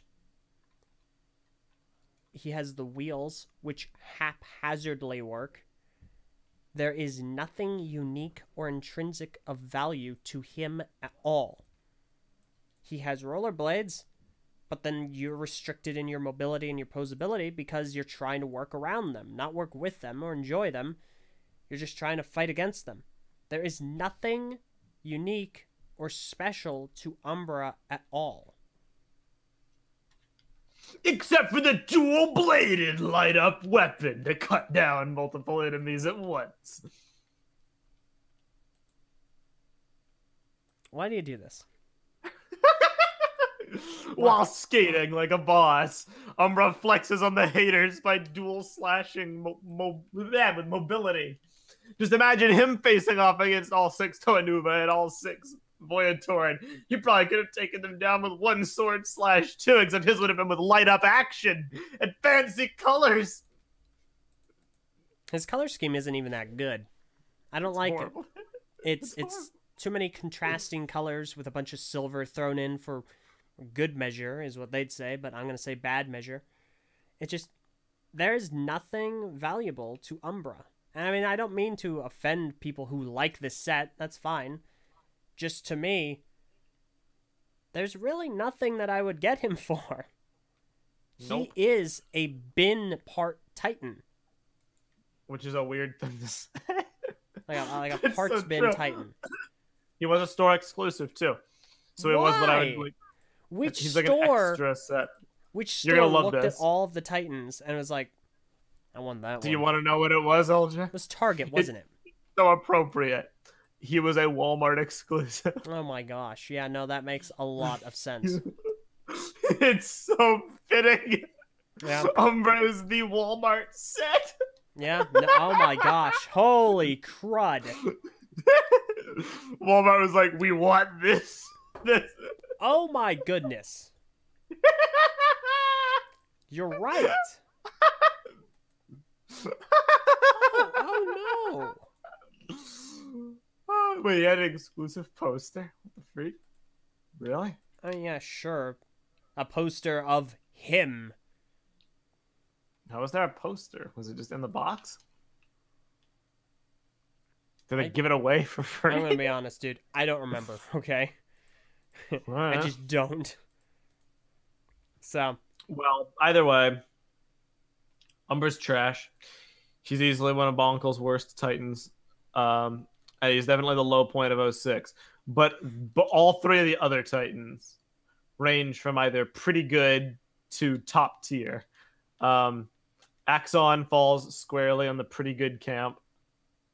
I like him a lot, but the hands aren't for everybody. Yeah, the Um, hands are a nice idea that, again, similar to the dual weapon functionality from O2, are done better in a future set, and it's even the next year. Yeah. Um Vezon and Fenrakk is awesome. It's just just awesome. That's all I have to say. Um and Vezon is a very effective Piraka design without having to rely on the uh, the spine. Epic rhyme. Um and uh Brutaka is just great. He's just great. He's a lot of people's favorite set, and I completely get it. He's probably my uh my third favorite Titan. So he's he's firmly on the top three. mm-hmm. I I used to like Brutaka a lot more than I do right now, and honestly, I didn't think that I would ever say this, but it has a lot to do with DV from BZ Power, because he oh, brings Oh, up no. he does not like Brutaka. He really doesn't like Brutaka, but he brings up an interesting point. Brutaka is exemplary of the the lack of visual cohesion. He's a really, I mean, I like the build of Brutaka. I like the set. I think it's a really excellent set. The build is wonderful uh, to me at least, I think that it looks cool. I like how it looks. Though I feel DV does have a point. There is a strong lack of visual cohesion in his design.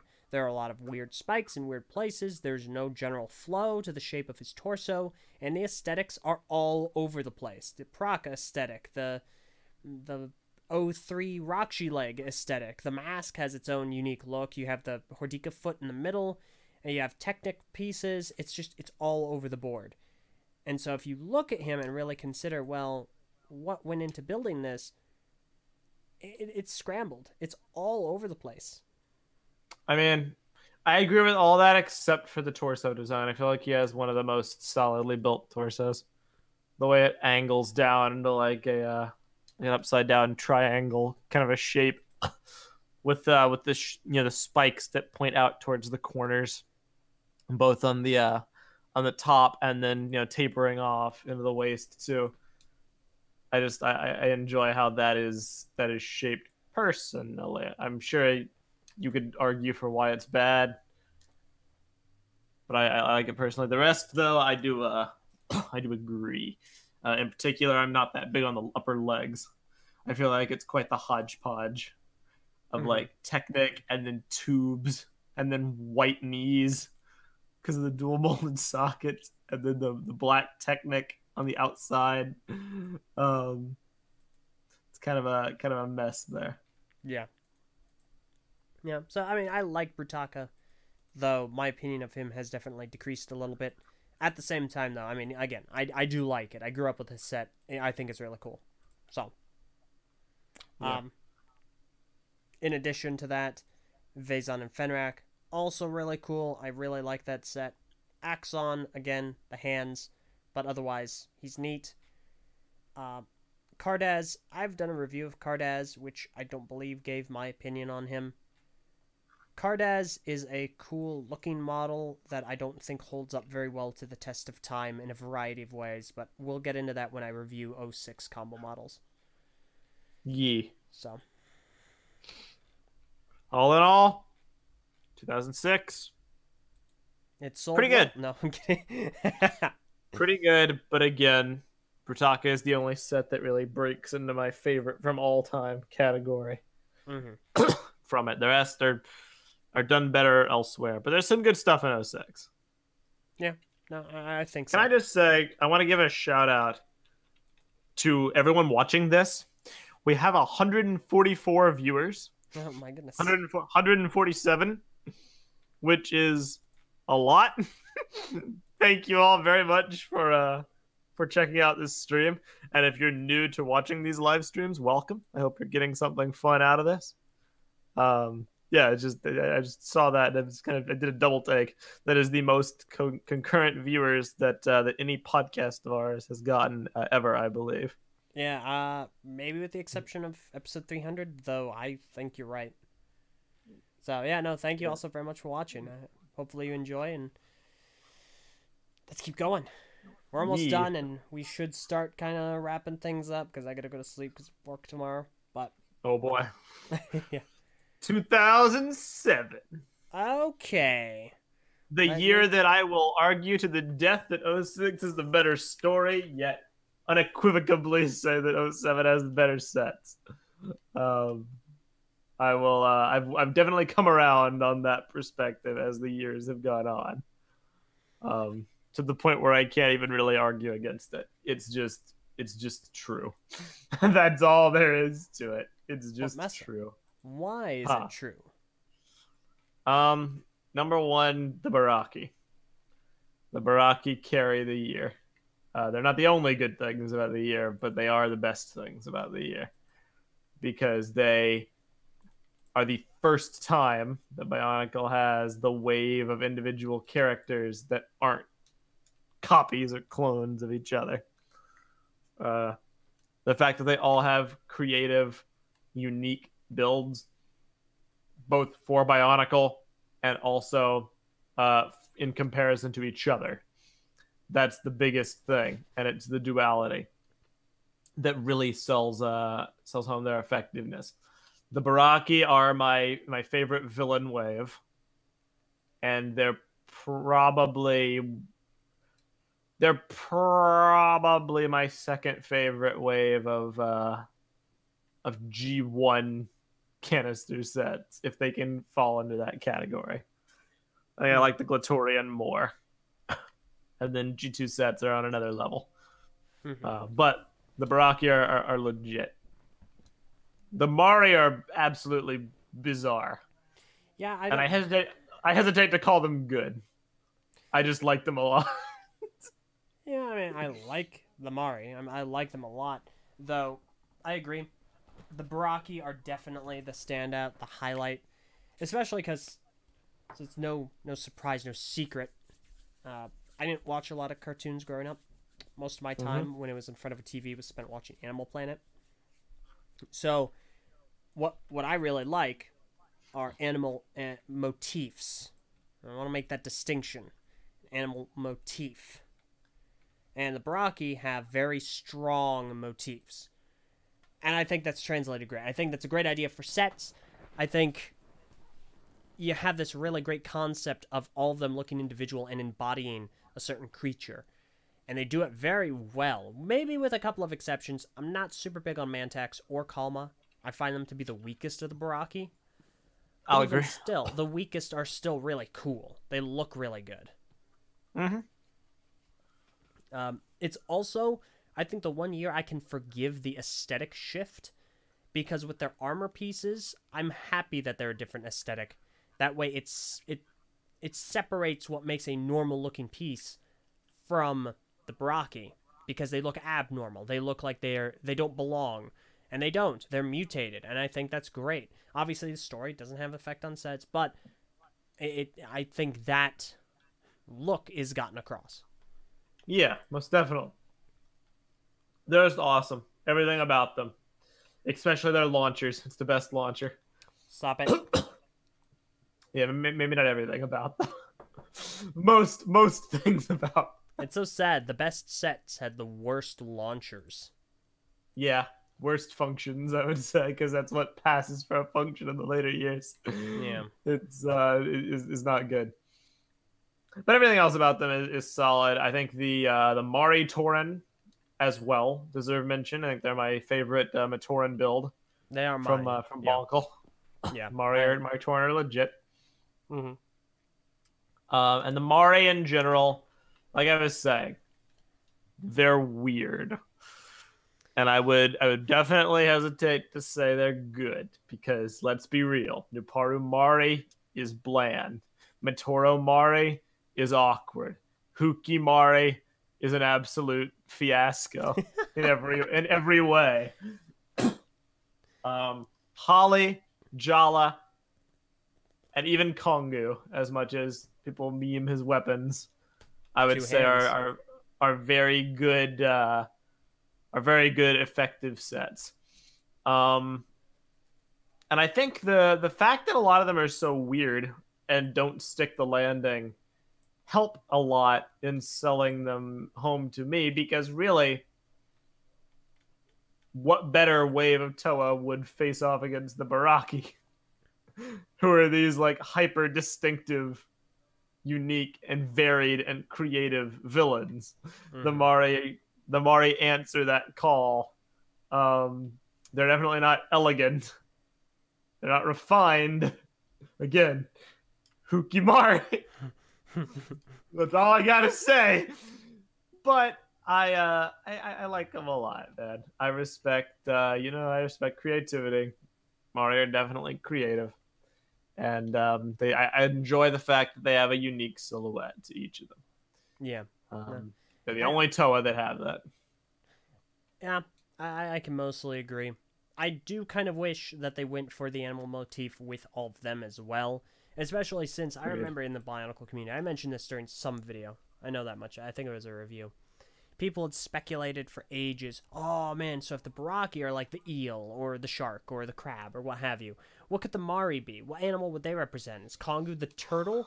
When we started Oh, getting uh, uh, Toy Fair images, is is Hahli the lionfish?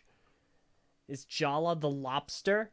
And I kind of wish they went that route. I, I I'm fine with them not going that way because they ended up being more scuba divers than anything else. Though a part of me kind of just wishes, yeah, let's have just an animal kingdom fight off. That would have been cool. That would be pretty dynamite. I won't lie. yeah, yeah. Oh well. Um, Let's talk about the Titans. Okay, yeah, we're gonna skip over the Hydruka. They're pretty forgettable. As, Oh yeah, I, no lie, I forgot they existed. yeah. I mean, the only reason I remember is because I'm looking at the picture with them. So Oh yeah. Titans. So we have Maxilos and Spinax, regarded by many as the best Bionicle Titan, hmm and I would definitely say, even though I personally like Umarak more, Maxilos is better. Maxilos is great. He's got you know waist articulation. He's got shoulder articulation. He's got. I mean, uh, those are really the two big points that he has. He's just well built. He's got good armor. And here's the thing about Maxilos. Bionicle has again always had this very specific aesthetic. Maxilos pulls off the look of a robot without actually having to rely on specific you know molds or pieces. You know what i mean? It's like the mata their aesthetic is built into their very parts. But maxilos his build is robotic. He embodies a robot appearance through his design. Excuse me. And i think that that's a huge strength to him because it does give him a unique appearance a unique feel as it were For sure. so He's I just think- good. He's just really good all around. Um, I don't really have too much to say about him other than he's really good, but he is he is in my uh, he's definitely in my top 5 Mhm. uh, Yeah. of all time. Hydraxon does not get enough credit. He's really cool. I really like Hydraxon. Um, color scheme not so much, but overall build, the claw hand, the wrist mounted blades, the blades on the shoulders.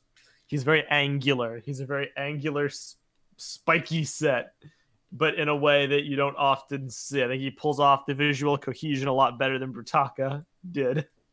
Mhm. Um, I think the main reason he doesn't get a lot of love is just because he's black and gray, and that's kind of a dull color scheme. yeah And I uh, I agree.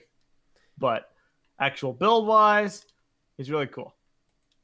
Yeah, no, I, I like him. Uh, so I haven't had a whole lot of experience with most of the 07 Titans uh, in comparison to most others. The only Titans I got were Gadunka and Nocturn, which Holy inevitably are my favorites.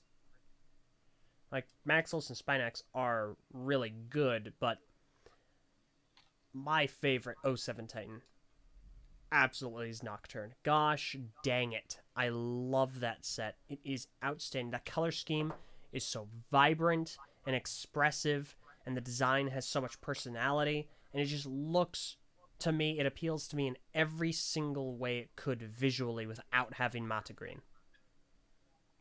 Dang, Mm-hmm. fair Big enough. fan. I don't feel as strongly, but I don't uh, I don't disagree with any of those points. He's very good. Um, I really like Gadunka. I do too. I really like Gadunka. Gadunka is so much fun. One of the most unique uh, sets. Yep, handedly. And then of course the best one is Karzani. Karzani was best one fight. that I really The wish I didn't. I didn't. I didn't. I, hmm, I really wish I did not pay the amount that I did for Tell, Karzani. tell the rest of the class how much did you pay for Karzani? Eighty dollars. Eighty freaking dollars. The set retailed for like forty, I think. And it, it was a low number that it retailed for. And I mean, the, what it retailed for was a good value. I mean, you get four different figures technically. You get Karzani, you get two Matoran, and then you get the trap. mm-hmm. And that, that's and that's really good. So on paper, it's a good value. Unfortunately, Karzani is just super awkward. He's just really peculiar. I mean, he's got some neat recolors, but nothing about his build appeals to me at all. The two Matoran are nice, but I mean, they're they're they're two Matoran, and then the trap is just completely forgettable. I rarely forget that it exists. Trap is in my top five sets of all time. There it Just the is. trap. All right. Just the just the trap, not Karzani. Just the trap. Okay. Yep. mhm. Can I? Can someone like trap Solek in the Karzani trap Why? and just send me a picture of that, Why? please? That sounds Why? funny. Uh, Um, yeah. 07 has its strength because not only is it a really good year from basically every perspective, but it also has a lot of high highs. It has one of the best sets with Maximus. It has one of the best waves with the Barraki. It has one of the best. Uh... I lost my train of thought. Oh, one of the most unique sets with Gadunka. Um, just a lot of really good options like Nocturn, Hydraxon, very creative stuff with the Mahri. 07 is my f- yeah, it's my favorite year set design wise. really? Um, overall, I think the, the the more the years have gone on, um, you know, I'll I'll argue for um, wave one of G two and um, wave one of two thousand nine, like all the time. But I think 07 uh, wins out in totality as a as a total year because the summer waves for both of those uh, kind of drag a bit. Mm-hmm. no, that's fair enough. That is fair. Yeah, I mean, I, am a big fan of 07. It's it's in my top five years. I think that the mm-hmm. sets. I, I appreciate that they're so vibrant as well. Like Hewkii, Dekar, uh, Jaller especially. He's got a massive color boost. Hahli, for all of her flaws, uh, I think the lime is her one of her greatest assets and one of her greatest weaknesses, literally. Yup, fragility. mm-hmm. So. Um, yeah. Oh wait. oh wait, no, no, we forgot one. We completely forgot one. Did we? Yep. Lesovikk. Oh, Lesovikk! He sucks. sorry, not sorry. He sucks. It's worse, worse Ussanui. Ah. With with an with an awkward looking build. Lesovikk doesn't work for me. He just he looks he looks awkward, man. Come on, I, you like Lesovikk? Here's the problem. I like the concept of Lesovikk. Listen, the vehicle, not super, not super big on the vehicle. I forget the vehicle, but I am biased toward Lesovikk because he's a Toa of air. I like the recolored Bruh. mask. I like that mask design. I like seeing it in a green color. I like the fact we get another Toa of air. That appeals to me. Green is obviously my favorite color, so I'm happy that he exists. At the same time, it's hard to argue because he's basically just a Piraka build with a silver Prydac blade. It's it, yeah. It, it I mean, I'm I'm harsh towards him, but he's he's generally inoffensive. I think he retailed for what like 20, 20 bucks, twenty five. Uh, I'm gonna lean toward twenty five. Uh, I'll double check yeah, real quick. Twenty bucks. Twenty bucks. Okay. For twenty bucks, that is that is definitely worth. That is uh most assuredly worth, because the uh, the Mahri I think at that point we're selling for like ten bucks.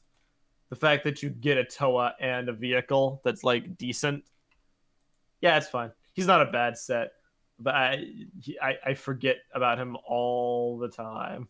Mm-hmm. Um, all the time.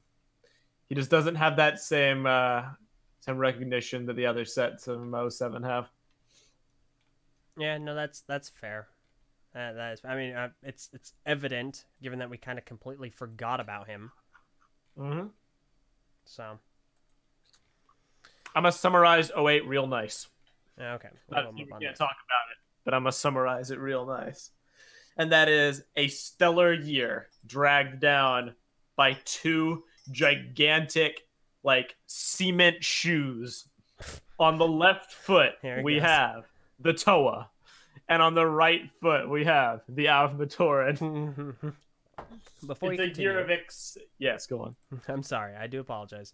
Uh, we did get a super chat from oh, yeah! Cringy Kiwi, who donated. Uh, it says CA dollar sign two point seven nine. I don't know what currency that technically is. Uh, maybe Canadian. I'm not sure. I'm not sure.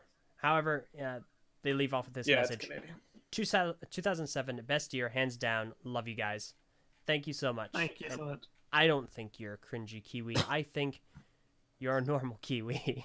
Kiwis Re- are regular awesome. old Kiwi. Kiwis are fantastic. Um, a comment from Jake Stillwell says this channel's the best. It's just okay, it's a simple comment, but I appreciate all of you and I appreciate all of you watching. Okay. 2008 literally is epic. It's got all the ingredients to make it make it cool. It's a culmination. It's the Toa returning after after six years, facing off against the Makuta with incredible vehicles and titans, and the Mask of Life has a set now, and he's a Toa. It should have been so good. And a lot of it is. The vehicles are incredible. You know, the Jetrax and the Axalara are up there for a lot of people as being top Bionicle sets. Um, and even a lot of the Titans, like Takanuva 08, love him or hate him, it's pretty cool. Mutran and Vican and Ikarax are pretty cool. Miserix, great, great build, especially for a store exclusive. Very creative. Mhm. Um, Toa Ignika is all right. You know, he's he's he's okay. And the the Makuta are exceptional. What they lack in the build variety that the Barraki had, they make up for in personality uh, by their uni- relatively unified aesthetic um, of being very like insectoid. The Phantoka being very bat-like. Um, the Mistika Makuta not so much but they all follow like I, I can look at the six Makuta and I can tell they, they belong together. Mhm. Um Phantoka more so. But even even still, th- they're all very effective at what they're trying to do. But Mm. but oh, this year I have such hatred for the other half of it. Everything involving the good guys. The the Avmatoran are a scourge. And everything they represent is a scourge. I'm sure I'll talk more about it in a future episode. I'm not gonna go all in. Everybody knows my opinions of the Avtoran build. It represents everything wrong with Bionicle. And on my least favorite sets, I might not have many favorites. I definitely have some least favorites. and the Avmatoran build in general is is there. Uh, Solek specifically earns my ire for the color scheme, but realistically, they're all just as bad. Uh, Tanma and Photok are, are pretty much just as bad. At Hmm. least the Shadow Matoran had new pieces, the new feet and stuff. Hmm. But I hate them. Hate them, hate them, hate them. Uh, and the Toa as well are among the worst. Um, with the exception of uh, of Lewa, who I would consider to be a pretty good adaptation. Uh, all right. Pretty good. As as the resident Lewa expert here, no. You take over. the answer to that question, that inquiry, is in fact no. so here's the thing about the Phantoka and the Mistika. And I've said this before. The Phantoka and the Mistika are perfectly serviceable sets. What they fail in doing is being good adaptations of who they're meant to represent. Who they're meant to represent would be their prior incarnation, which would be the Toa Nuva from 2003, at which point almost every single Nuva from 08 fails categorically, with two exceptions Pohatu and Kopaka. Kopaka had it easy. There's really not a whole lot to get wrong with Kopaka. Gray, white, mask with a scope. And somehow they still screwed it up because the scope's on the wrong side. Okay, fine. It can be forgiven. It's not great, but it can be forgiven. Kopaka, he's mostly recognizable. Pohatu is in a similar boat. You don't need to do much with him. Short, stocky, mask that kind of looks like it's very streamlined. They did it. The mask still kind of looks like a Vahi, but you know what? We can forgive it. Every other character manages to somehow screw up what fundamentally made the Nuva the Nuva. They don't have anything in common with the Nuva. Lewa kind of. There are some anecdotal parts of his mask that resemble a Miru, so I guess that works. Outside of that, what about him is Lewa? He's green. And he's not even his most recognizable green. Nope. He's He's just a green. He's just he's just lime and gray. Also, yeah, anecdotal was the wrong word to use for that. There just there are I don't know what the proper word for it is. It just there are parts of the mask which look like the Miru, but I mean they're not strong resemblances. It it just I don't know. I hear that. And it's uh, here's the thing though. There are some people who say, well, I mean, I, I, I can argue that Lee was a good adaptation. They don't have anything in common outside of maybe the mask. Maybe the mask. Kind of. A little bit. Little bit. You take away the mask, you know what they have in common? Nothing. Nothing at all. Lewa Nuva had katanas. Yeah, he had two. has He had two slim katana. What does Lewa Phantoka have? A giant electrified spiky sword and a blaster. Which of the oh. other Lewa sets had two giant jetpacks on his shoulders? None of them. That's who. Which one of the Lewa had platform shoes? None of them. That's who. He has Yeah. no resemblance to Lewa outside of sharing lime and some similarities in the mask. That's it. And that's why Lewa Phantoka is not a good adaptation of Lewa. Same with Onua. Onua is not a good adaptation of Onua. Short, stocky, no. Onua ended up being the slimmest, most limber looking of the Toa. Bizarre. He doesn't look short, stocky, bulky like Onua has looked. Tahu, there's nothing in. re- uh, Tahu does not resemble Tahu. Here's the thing. I posted this on the TTV message boards in response to a now banned member. I had, to, I had to slip that in there. I didn't ban them because of their opinion. Don't get me wrong. I preface that. They like the Phantoka, they like the Mistika. They really like the Mistika. And here's the thing the Mistika are fine sets. They're bad adaptations. And the reason for that is because their colors were never meant to be what they are now. There is a, a video, a behind the scenes video in Russian that goes into the process behind Bionicle and shows some of the sets being prototyped. In the background, you can see a Tahu Mistika in blue. And that leads me to believe Tahu Mistika was really meant to be Gali Mistika. The way this was going to work was Tahu would have been blue, Onua would have been red, and Gali would have been black. Because what is Gali? Short and stocky. What is Ta? What is Onua? Tall, limber. You know, he's got he's a, a reasonably standard-looking character. mm-hmm. What is Tahu? Unique.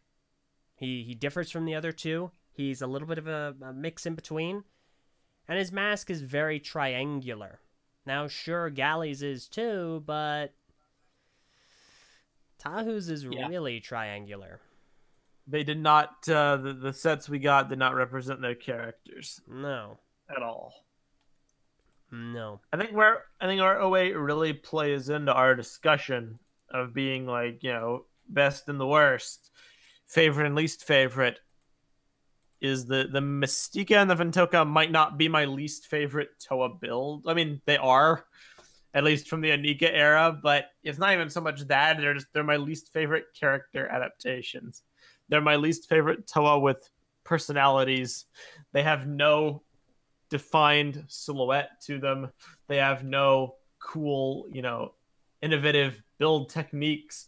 They have no personalization. They have no character. They're just they are just there. They are just figures. They just have articulation. They don't do it any better than any of the others. And overall, they suck. But more than that, the Avmatoran build is the worst small set build. Yeah. And past past that point, the things the year does right are the vehicles. With the exception of Voltraz, they're all really good. Yeah. I think uh, I think we can both agree there. yeah, I have no complaints about the vehicles. I do question the existence of the yellow Jetrax, though it is a jet track, so it is solid inherently. Yeah, Uh, pretty Mu- much. Mutran and Vican exist as well, though they are somewhat forgettable. A little I mean, bit. It's it's just it's Kiro and Kirox, but with lime and slightly altered builds. Yeah, they're they're weird. Yeah, They are weird. and they're Walmart exclusives. There you go. So, yeah, I like 08, but in my opinion, 08 mixes the.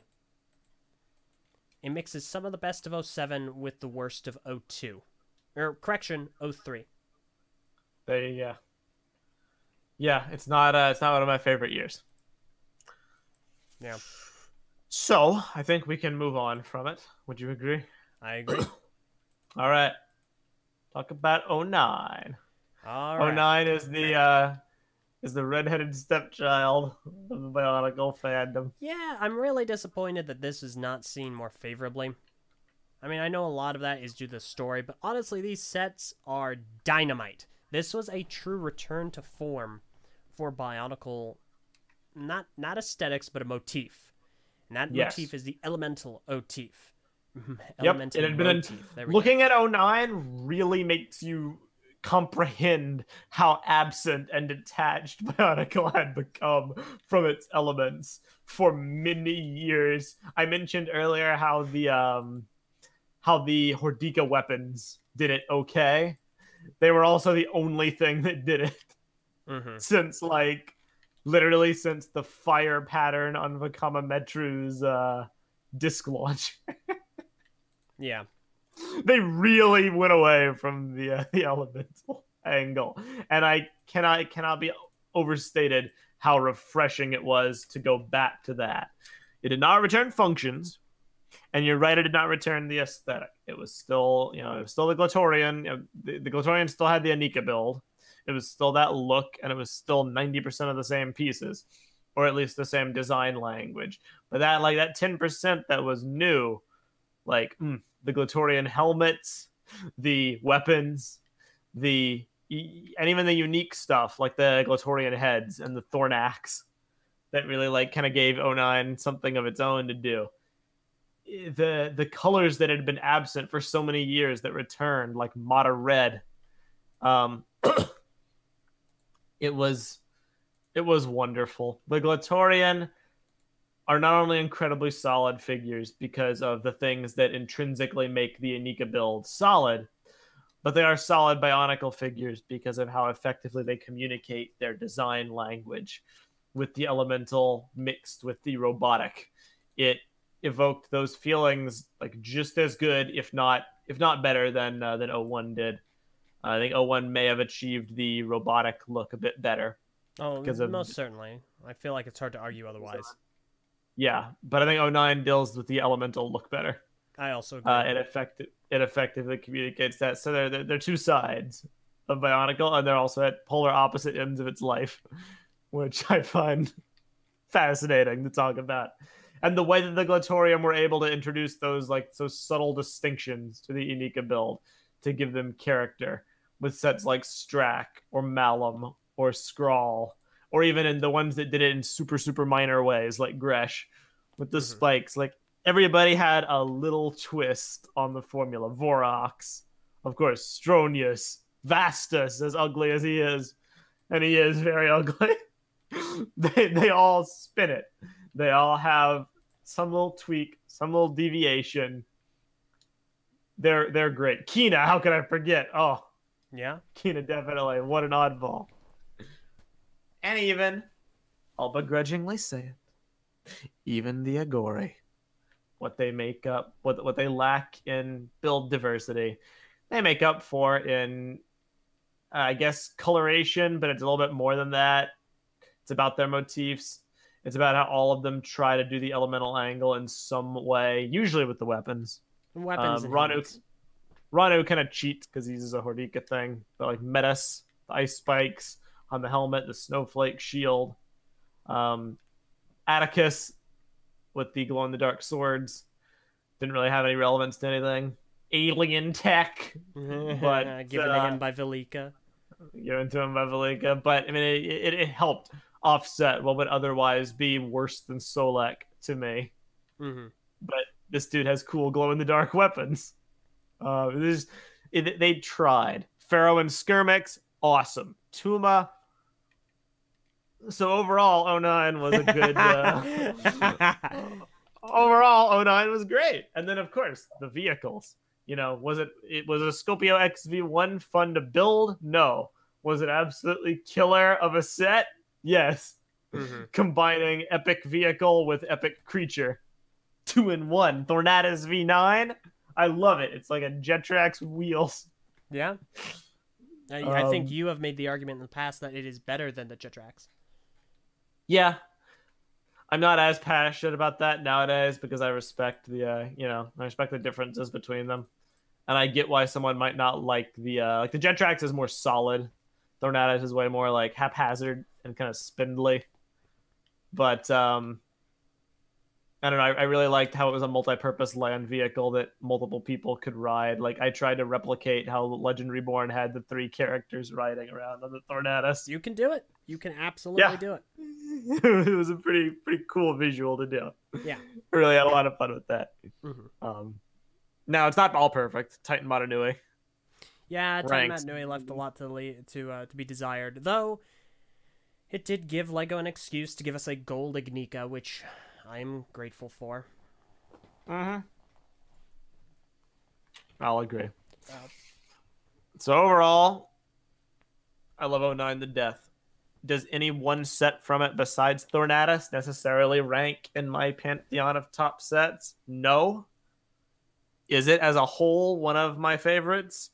Uh, yes, I would have the controversial opinion, Mm. which people will flay me alive for and say that, with the exception of 07, so I guess I don't know why I'm saying it like this. It's a weird way to say it. 09 is my second favorite year. nice. That there, there you go there you go. That's with the exception of my first favorite. It's my favorite. yeah, that always reminds me. People keep on asking, "Hey, what what's your favorite mask, excluding the Miru?" You're not asking what my favorite mask is. You're asking what my second favorite mask is. Just say it. Just say it. yeah. I love 09, man. I, I I love its design language, and I love how it like evolves the uh, Inika build to where you can have the template, but you can still have personality. Yeah, Malum is not the same as Gelu, as is Strakk, Vorox, etc. Yeah. And really, the most boring of these figures is Gelu and Ackar, and even then, they still have heaps of personality, which is mostly derived through recolors and weaponry. Yeah, those two have some of the most personality just because of the color schemes and the motifs, despite having the bland builds. Mm-hmm. So it's cool. Yeah. No, Only I- the parts were so brittle. That's a discussion for another day. That's yeah, that really is where their weakness is, literally. So no, I agree. I, I can't say anything other than to to echo your sentiments. I really think 09 is great. Yep. And 2010, we barely even need to talk about. We'll talk about It's- it to give it its due. It's good for what it was. As Yep. the only thing we could receive, it's better than nothing. Yeah, unfortunately, Um, that that is basically that's really how I look at these sets. They're better than nothing. Yep. I guess to give it some kind of narrative relevance to this video, the best and worst Bionicle sets, they're the best Avmatoran builds. Yeah, yeah. So, I mean, it's it's What a what a bar. wonderful bar to clear. What an absolutely amazing, prestigious honor to bestow upon these sets. What a fantastic thing to say. God, I hate the Avatar. yeah, get in line, buddy. See, I don't hate the Avatorn. I appreciate, or sorry, not the Avatorn. Uh, I meant the stars. I don't hate the stars. I have a great appreciation for the stars, and they do hold some nostalgia for me. So I like how they were able to make a Rahkshi in this god awful build system that actually did look like a Rahkshi. Even if it did require one horrendous new piece I just, I don't. I don't get it. Just, mm, whatever. Yeah, Well, I mean, what do I'm you glad- not like about the Roxy spawn? Nah, I just, I wish that it, they just recolored the Rahkshi head, and then gave us a spine independently. But Would have been nice. Yeah, nah, I, I get why they did it the way they did. So I mean the stars I appreciate them. I do I will say I like them, but obviously we could have gotten a lot better, and it's unfortunate that we never got the opportunity. Takanuva has has my nickname of Solek evolved because that's basically what he is. He's like Solek, except if Solek had new pieces and armor, and like, yeah. Yeah. We got a super chat from Roy Batilana, uh, Canadian five dollars. Toa Mata Nui is a really ambitious design, and its hands work really well. I mean, yeah, no, That's- no that's arguments there. I it's I like arguments there. Towamatsu The problem that people have with him are well, I mean, it's it's a gappy design, and also the color scheme is all over the board. I have always said that design would make for a really good Mata Nui robot if you recolored it. Recolor the whole gosh darn thing. keep the mask. Keep the gold Ignika. Just recolor the whole gosh darn thing. Give it a new head, and you have a reasonable Towamat er, uh, Mata Nui uh, universe. So, um,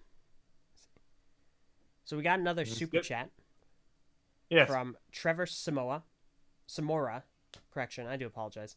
Donated twenty dollars with Whoa. this message.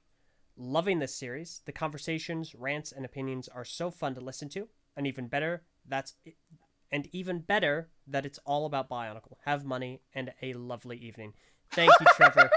you as well. Thank you so much. We really do appreciate it. Have money and a lovely evening. that is that is incredibly kind. Thank you very much. Um, it's a fun breath of fresh air to talk about uh, Bionicle in such a in such a way. Yeah. Um, yeah, we, so, we, we hope to have guests on in the future, like some other TTV folk and maybe some other uh, community folk. Like I think it'd be a lot of fun to have suddenly oranges on. Agreed. But it is fun to just kind of relax and just talk about this because we haven't been able to do that in heck six six seven years you and I are the only people who still have the the passion and the knowledge to talk at length about this subject matter, basically almost unprompted. To just riff on things. It's not like the rest of 2TV can't talk about Bionicle, but like you and I are the ones who can really just go at it for endless amounts of time. Yeah, no, easily. so I, am glad that people uh, find fun in listening to it. Uh, I was I was afraid people would be like, oh, you just mess with Eljay for hours and hours and hours and get boring, but uh, but no, I think it's fun. Let us talk about uh, talk about G two. Okay. And send this into a resounding close. Mm-hmm. Because uh, G two is the close. It's uh, it's the last vestige of of Bonkle that we have uh, we were able to receive. And G two innovated in a lot of ways. Whole new building system, whole new method of construction, and uh, its greatest accomplishment by far is the flawless unification of functions with posability. That is really the best thing it does. And it has, you know, changed construction forever because even when they made Star Wars figures for the relatively short time they did, because Bionicle set a standard for having functions, they put them there too. Um, because why not? Uh, it was a it was a precedent now that had been set, reestablished, um, because of how seamless it worked. Uh, Star Wars perfected it a little bit. They added back armor and stuff, but the way the gearbox attached to the 2.0, you know, CCBS torso build was absolutely ingenious. Not perfect because of the open ball joints on the shoulders. That was the biggest con. But all in all, that's a very minor price to pay for what the G2 Toa were able to do. Something that was only achieved in the Toa Metru, also not perfectly, because the Toa Masters had open ball joints, Toa Metru had open sockets, even though they were they were kind of covered up. It's funny how there's that that parallel. Mm-hmm. Um, but they, they they were great. They evoked the elemental feel too they had transparent pieces out the wazoo. Oh yeah. And they had the the combo opposability and functions. Those three things automatically make the G2 Toa the best canister quote unquote sets we've ever received. Uh, bar none to me. Just as as figures. What you can do with them so vastly outstrips anything that G1 canister sets could do simply by how their design had evolved by that point. It would not have been possible without G1 to set the uh, set the foundation. So it's not a knock against anything from G1. It's just they they evolved the formula, and it's the same with the protectors. Orakume says the exact same thing. The protectors evolved the small set formula to the most that they can achieve. Launchers, posability, uh, you know, they're, they're great. G2 as a whole, 2015 in particular, knocked it out of the park mm-hmm. in basically every way. And they were faithful to their original characters too. they were new, they were not carbon copies, and yet they had this they had the design language like down to a T. They felt like adaptations of those people who we grew up with with a new twist, creative builds Mm-hmm. And then there's loss. and then there's loss. Yeah. Poor loss. that's why. I, that's the thing, though. Like I can't. That's why I was so baffled by your comparison between Loss and D- Nidhiki earlier.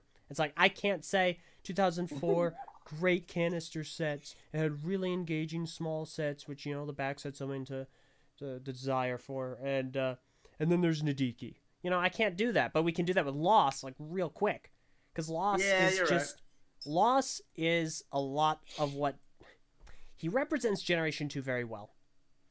He has a lot of potential that was squandered. Yep. Essentially, he could have been a really good Titan set. He could have been a really good Rahi set. Could have been a really good anything other than the weird Technic creature hodgepodge that we got because it was a budget set. Like, it's one of the rare times I ever said it, but there was no reason he should have been that cheap. Mm-hmm.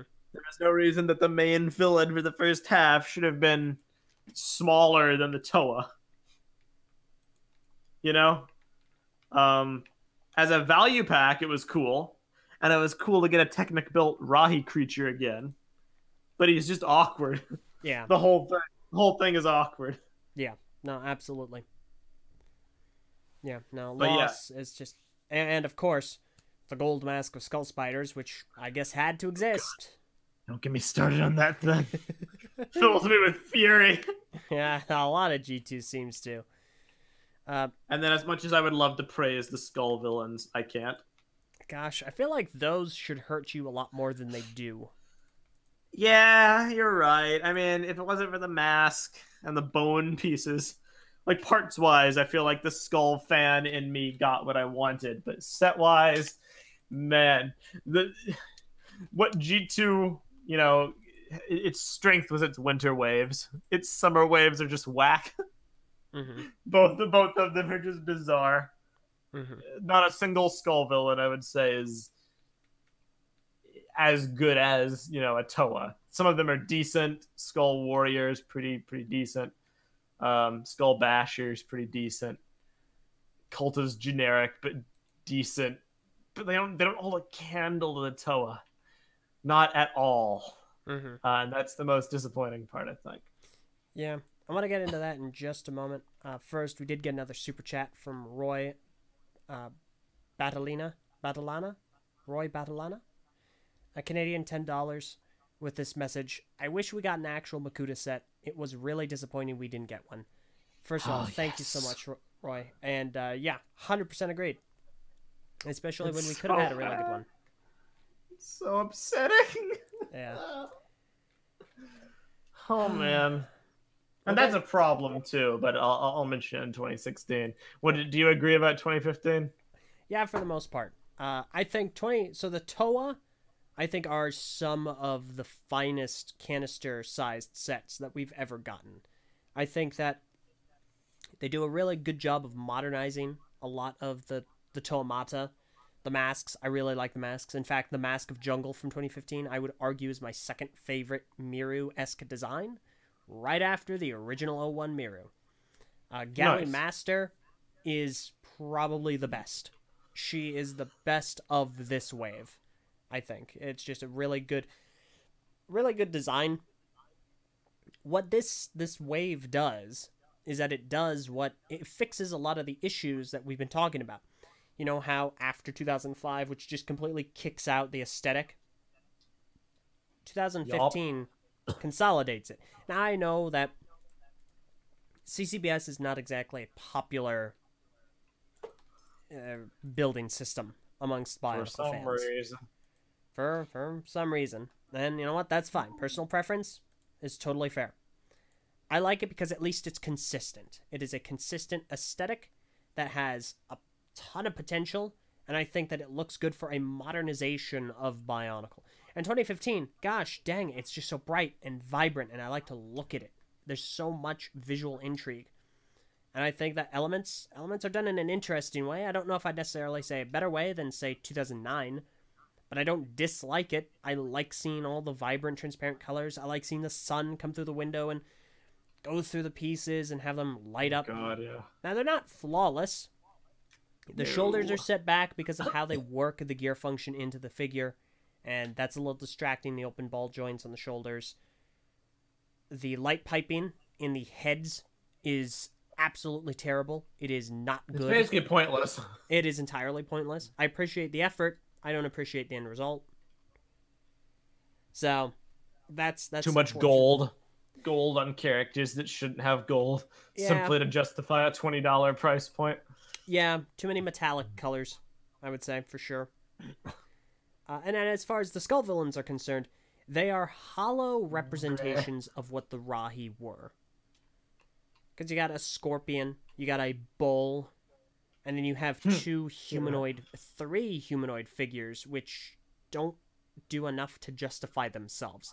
They don't differentiate themselves. They don't make themselves unique or interesting enough to me to justify them being worthy op- opponents for the Toa, or to see for me to see them standing up against the Toa and being like, "Oh man, this is a threat. This is really cool." So pathetic, all of them. They're so tiny.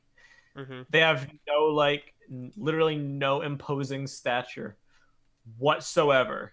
The the closest one is Skull Basher, and he's tiny. Yeah. He's pathetic. He the horns give the illusion that he's he's bigger than he actually is. Sk- Skull Grinder literally has big like circles on his shoulders to make him look buff, just to give him something. It doesn't like it doesn't work. Yeah. they're so disappointing. Yeah. Ugh. Yeah, no, absolutely. Now, I will say some things I really do like about the latter half of the year. I do actually like Kulta. I do think that he is reasonably imposing. I think the shoulder things do work. And I like Ekimu. I obviously agree with you. I love the small builds. The protectors are excellent. And Ekimu, I think, is also really good. I love the mask creation. Gosh dang, that. Oh man, I just remember was good. waking up and seeing that spinning mask right before I went out, did some stuff, just seen it spinning, going, holy crud, it's here. And I love that design. It's super nostalgic. It's very good. That's very good. Yeah, I, I think that 2015 does a good job of consolidating the aesthetics and and also balancing out the functions and the posability. It did a really good job of modernizing everything and bringing those together as one. For sure. So, And now coup de grace. the last year. The Coupe de Gracie. Oh my gosh. And I apologize for the quality of this picture. It's not a great picture to represent this wave, but it's what I got. 2016 is bizarre. Because in a Really lot of ways, it, it does some things better. In theory. like the Uniters do some things better. But uh, my, my opinion on oh, 2016 by comparison is is mostly negative. Um, in 2015, I felt like the the Toa Masters had a very unified visual aesthetic that paid a lot of homage to their older, you know, older counterparts, but did enough new to make it work. They balanced their color schemes really efficiently. They all had, you know, some things about their build to make them stand out and be creative. I feel like 2016 kind of regressed it a bit. They are very much the Nuva slash Mistika of their time. Better, don't do not get me wrong, but a, a lot of the similar problems persist. The torsos are just one giant piece with like usually it's a metallic color. Um, Kopaka and uh, Onua managed to skate around this a tad by nature of their color schemes, but the primary color is pretty much reserved for printing. It doesn't really work.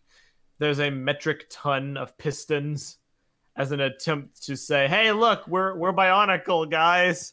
We've got pistons. How many do you want? What's that? 30? 30 pistons on one piece? This- Oh boy, golly gee. This wave upsets me because you know what it is? Huh.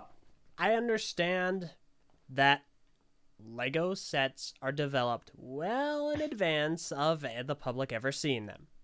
hmm But However, gosh It dang, it feels- feels like damage control the wave. It, So it feels, feels like, like. Rise of Skywalker to 2015's The Last Jedi. If Exactly. The Last Jedi was good.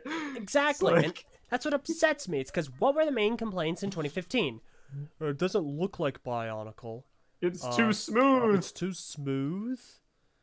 Uh, What's that? Nuva symbols? That, that's Yeah. Bionicle, uh, right? I- People can, can we get some more familiarity? Or are they connected? So what do we get? We get pistons just scattered all over the place, and then we get the Nuva symbols. Now I like the Nuva symbols, except for the fact that in some of the sets They're wrong. They're screwed up. That's right. On Gali's mask and Lewa's mask, the Nuva symbols are messed up.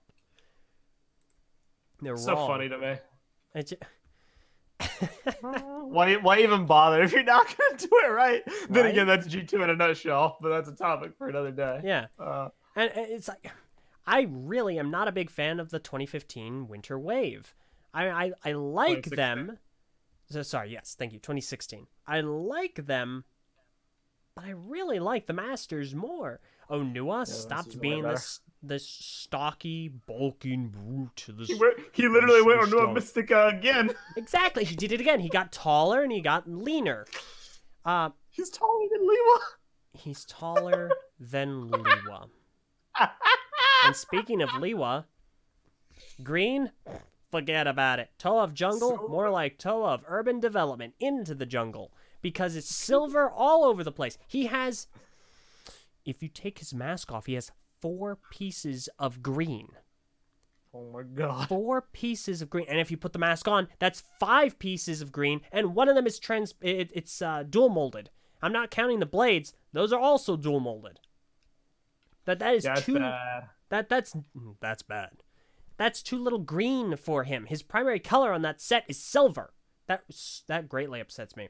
Uh, as far as the mask is concerned, by the way, I do like the mask, though it is probably my third, fourth favorite. It alternates. I don't like this, the the bringing out of Lewa's chin, the Miru chin. I don't understand it. I mean, it's fine.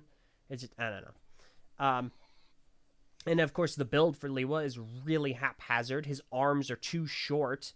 You have to extend them with the swords to give the illusion of normal proportioned arms. Yep. Um, so I'm, I'm not a big fan. That's a downgrade. Onua, I, uh, to me, is a downgrade. Downgrade. I agree completely. Uh, let me see here. Kopaka's a weird one because I feel like, and, and here's where we get into the whole unity aspect. Because, like, half these Toa look better in their unity forms, and like half of them look worse.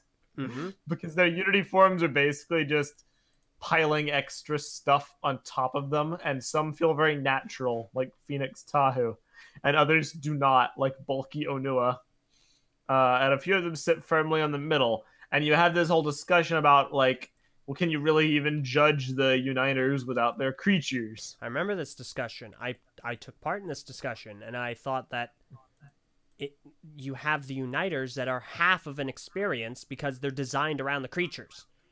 Yeah. I feel like if you want the if you want to be fair to the designers, no, because they're they're half of an experience, but like as a product, you should be able to. You know? I didn't buy Lewa like Kopaka's an, an excusable thing because at least his come comes bundled. You know what you're getting into, but like if I buy Lewa, I expect him to look good. Yeah. And, like it, a, a lot of these Pohatu is an absolute fiasco. Mm-hmm. Kopaka, li- literally the only way the color layering works with Kopaka is when he's unified. exactly. Otherwise, otherwise he has two gold pieces. He has golden knees, and that's it. Yeah. Um, and then of course, yeah, the dual molded heads with their their anime hair. I hate. Golly, Golly's shower cap. Gosh, Gali, biggest downgrade of all. The biggest downgrade of any of these. 2015 Golly Gali was excellent. It was very well. Uh, The the the armor placement was specific. It had a great shaping to it. The set looked really good. Gali 2016, gosh dang, no greater disappointment to me than that. And well, okay, no greater downgrade to me, I will say. So, uh, Prentice in our. Patreon chat says, I disagree. It might be that I think the build is better, but I far prefer Gali Uniter to Master. Looks just the tiniest bit more bionically to me. And that's really the problem with these. They look It's the Pistons. they look the tiniest bit more bionically. And really, what does that mean? Because it can mean any number of things. Bionically, in this instance, apparently means a bunch of different aesthetics shoved together and a build that looks haphazard at best. It has armor lifting off of the arms. The way that they attach that orange Vorox armor to her left thigh is something I expect to see out of a mock I would make at the age of 14. I did that. I did that when I was young. Yeah. Okay, it- Literally, it's- when CCBS when CCBS came out, I was like, "I'm gonna prove to all of you that you can integrate bionicle pieces. Watch this!" And I literally like, I was like, I put a socket on. I was like, "This is a socket joint. What can I attach to this?" And I looked frantically around for the only armor that would actually fit onto a socket. I was like, "Vorox armor, perfect!" And I did it. Exactly. It's so amateurish. It, it, so it it's so bad. It is. And I just, it frustrates me because Gali 2015 was a really well designed set. It had a really good aesthetic, it had a consistent look, it had great shaping, and the dual weapon functionality was ingenious for that particular set. And the mask, mm, Kaukau has never looked better, in my opinion. It, it doesn't really look like a Kaukau. Cow Cow's on a different level than the Mask of Water we got. I think it's a great design. 2016 Yeah. Gali has awkward proportions, a bizarre build, weird articulation. The armor placement makes little to no sense, and I don't like looking at it. Nothing about it is visually interesting or appealing to me at all. The colors, I'm not a big fan of the different trans blues that we get in the single set. Like, don't we Yep. get two different trans blues in the arms? Um, Let, let me let me double check this real quick. That I don't know. I have the sets behind me, but I'm in a dark room right now, so I, I can't really I don't tell. think there's two different blues. Let me double check. Dark Talk, Dark Takanuva says yes. Dark yeah, the lower and- arms, the lower arms and the lower legs are light transparent blue, and then the armor is the dark transparent blue. Bruh. What? What? Can I- Why? I'm, I, I'm gonna follow this this line of thinking with another random like thing. Earlier, you mentioned how Lewa has like four green pieces if you don't count the mask. yeah, You guys know that you guys know that Tahu has like two mono red pieces. that's if you right. don't count the mask. That's right. Two. It's so funny.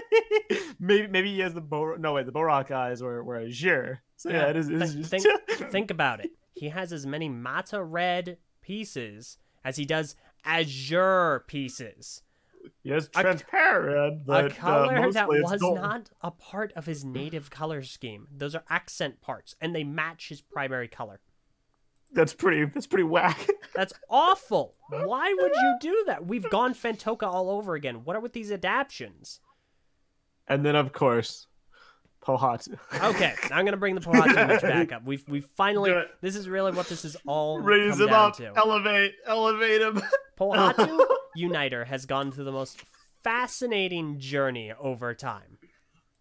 Okay, he started off being absolutely hated. I remember Var. I don't think I've seen him so passionately against a Bionicle set before Pohatu Uniter. Okay. Yes. But over time, opinion on him grew.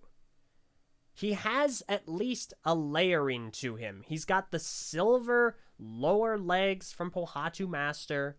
He has a new color to him, which is that it's uh what is it? The dark tan. Yeah. It's interesting. I like the mask design. I think it's really good.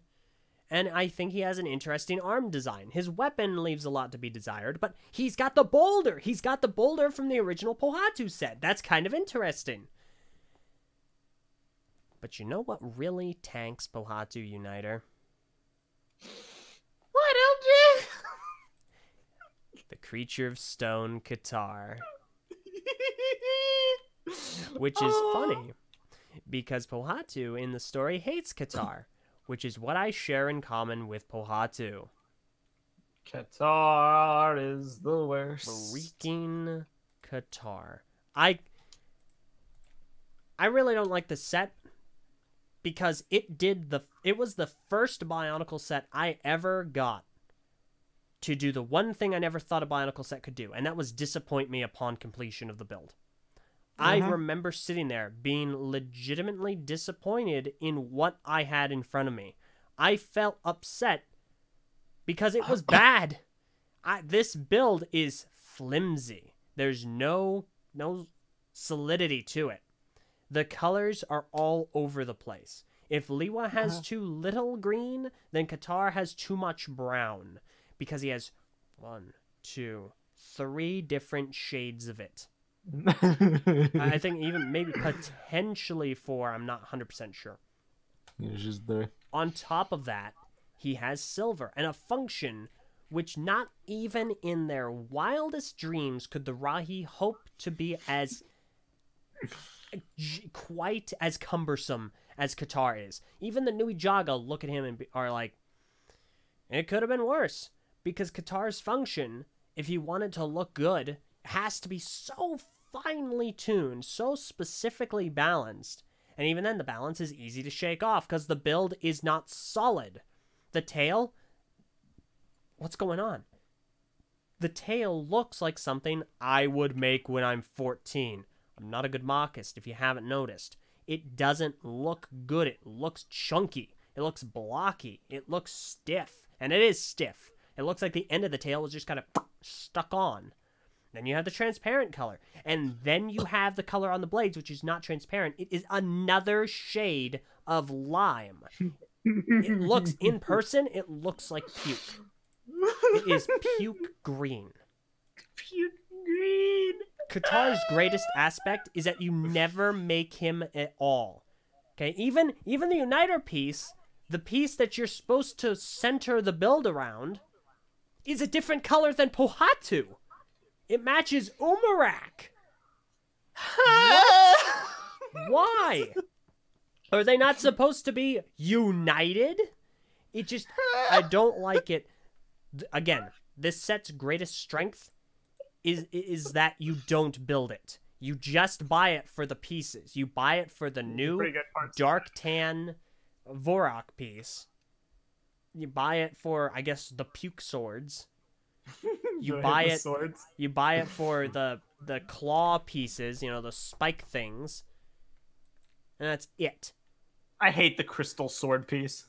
It looks horrible every time it's used. There's not a set that uses it that I'm like, wow, this is really good, except like maybe Kopaka.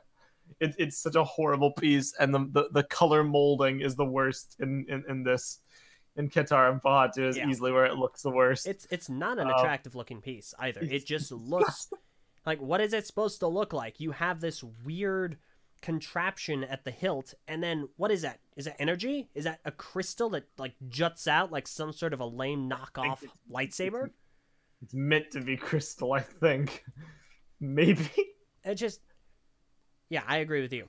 I'm I'm not a fan of it, and, and again, Ketar sucks. the reason why I chose Pohatu Uniter and Ketar to be a part of the thumbnail of this video and to be the first thing you see here is because, in my opinion, he's the representation. This combination is a representation of the best and the worst of Bionicle sets. Because you have a set that might not be considered the best, but it has aspects of it. It does things well. It has a waist articulation, which is uncommon for Bionicle. It has standard articulation in the limbs. It has a cool looking mask design. It has a cool coloration. And you have the worst, which takes a lot of those aspects and just butchers them. Gosh dang it. People ask me all the time, you know, like where, you know, why why do you hate Solek so much? I'm like, I mean, I hate him because he doesn't try. It's not so much him. I reason out why Solek is the worst simply because of my like my an- analysis of color schemes. The Avmatoran build is what I hate, but I hate it because it's it's lazy. It's not because it necessarily looks bad or has a poor function as a set. I hate it because you know, it represents the degradation of Bionicle set design as we move away from complex builds and we move away from functions and we move away from creativity into this standardized template of large blocky pieces. That's why I hate the Avmatoran build.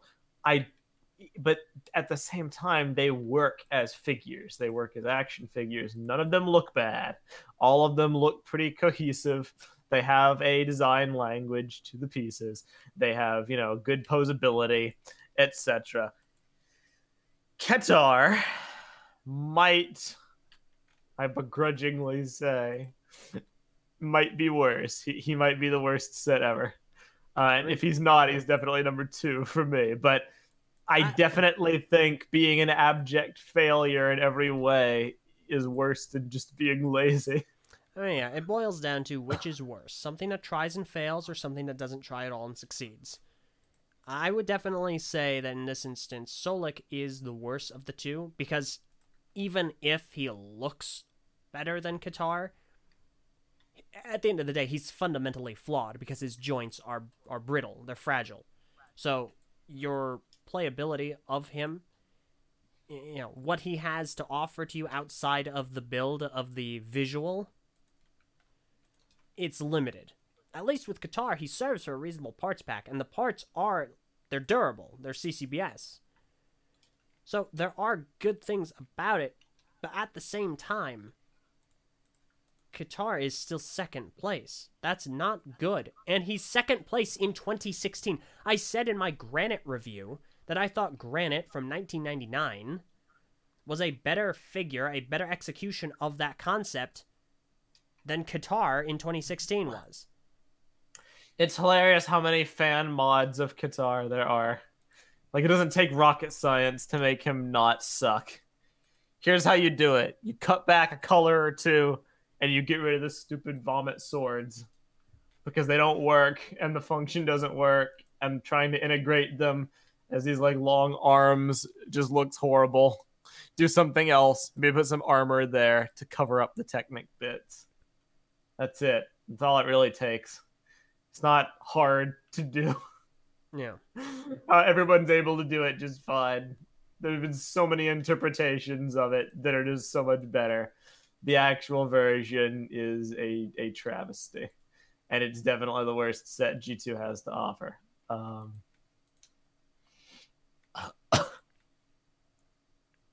so, yeah by contrast, the the rest of the creatures are, are pretty pretty all right. Um, yeah, I mean, I like the creatures. I just feel like the the uniters relied too heavily on them. They did. They they really did, and it made the whole wave feel like kind of a mess. Um, I also really hate Melum. Really, Melum Melum, Melum sucks. Oh no, I remember about. I remember this. Yeah, he's he's just like Ketar, but less that's basically it. That's all, that's all I gotta say. Mm-hmm. and like his, mm, there's a picture I took a long time ago that I wish I had handy of just Melum's design. It's so flimsy. It's so like yeah. so spindly, but he mostly works, and he has the excuse that he's part of a two pack. Yeah, Ketar does not. I mean, um, that that that's the thing. There's that excuse, and Melum's greatest strength is that he is at least a parody of a good build, and that build is Taric. Yeah. So he is an alternate of that, which, I mean, that's a good thing. Ketar has no redeeming quality of that kind. Nope. So. And then to close it off, the beasts. Well, maybe not to close it off. The beasts are better than the skull villains. Yeah. But are just uh, they're, they're whack in different ways. See, they're ridiculously problem. like complex legs for some reason. like they all have unique legs, but they don't really look that much different than regular legs would have done. And I don't really know why they opted to make them custom. Uh aside maybe to give them like a slight hunch like the illusion that they're triple jointed when they're actually not. Maybe. but they just look weird and they end up making them look unarmored as a result. Um, but at least they had some creative functions. Um, at least two of them did. Storm Beast and Quake Beast were were unique. Lava Beast was pretty, pretty standard fare. Yeah. But the, the, they're just weird. They're neither the best nor the worst. Yeah. Um, the two Umaraks, Umarak the Hunter, I adore his design language, concept, coloration, motif, execution, basically everything. But the problem is that he's pretty much just a standard G2 build, despite being like a Titan. Um, and that was kind of the problem because the the lines between what a Titan is kind of started to blur when they started releasing Toa that were twenty dollars. um, so Umarak, by comparison, just kind of feels like a standard figure, but he's really good. Um, Umarak the Destroyer, I despise. I think he's horrible. I think the torso being so gappy and awkward, it's basically just like a, an L-shaped lift arm makes up his back and neck, and the head is just kind of awkwardly stuck onto it. Um, the head is horrific. Um, for its purpose, it works a mutated mask of control, but the mask is very unappealing. The lower jaw piece that he shares with the beasts is one of the worst choices ever, and I don't understand to this day why they did it. Mm-hmm. And just as an adaptation from the Hunter, it, it's a big letdown. Um, that being said, what 2016 has a bunch of weird mixed things. They also do have something that I consider the best, and that is Ekimu the Mask Maker, which is, I think, the best uh, hero build uh, character in all of Bionicle. I guess the best Toa build, I guess, even though he's not really a Toa, simply because he manages to be super well armored with a lot of transparent, you know, vibrant pieces. Very bold color scheme, combines both gear functions while also having back armor and covers up the open ball joints because he uses a different torso configuration. to me, that's like a win win win win. Mm-hmm. It pretty much checks all the boxes. So I love him. Yeah, and I've I've said for a very long time there is an argument to be made for Ekimu the Mask Maker being the best Toa build, the best canister set build. I I don't know if I agree with it, though it exists because he does a lot of things that you could technically see as objectively right. Uh, you know, like you just mentioned, he has all the points of articulation. He has additional points of articulation. I mean, you stand him both up to gear functions. Both gear functions. You stand him up to a Toamata, and it's a completely different experience. You just have so many options when it comes to Ekimu that you might not with a Toamata, or even an Inika. So he does a lot of things right. I would have preferred a little more solidity in his color scheme. There's too much transparency in it, personally. So, respect that. Uh, though at the same time, the transparent mask of creation is beautiful. What an absolutely outstanding piece. I am a big fan of that. Yee. So. And then, of course, it would be remiss if we didn't talk about the best G2 set, that being Makuta. Um, very, very cool, very cool build. Good price point. A lot of pieces for for value that you got, and uh, you know it has the Mask of Ultimate Power too included, which is an amazing piece that really fulfilled a lot of people's hopes and dreams. Of course, of course. I, I, I love the Mask of Create of, of uh, Ultimate Power piece that we got. Here's the thing. Here's a fascinating thing that I, I will say, because I guess I got to go over that combo model again potentially, because it does technically count as a combo model, even though there aren't official instructions. Um, I'd argue it's one of the best. Yeah, I actually really like it as a combo model. Is it perfect? Absolutely not. It has a lot no. of issues, it's but janky. I really do like it. I'm, I'm a big fan of it, and I have a lot of good positive memories associated with. It. I like it, it enough to where I uh I I still have it built, just because um it's such a unique like.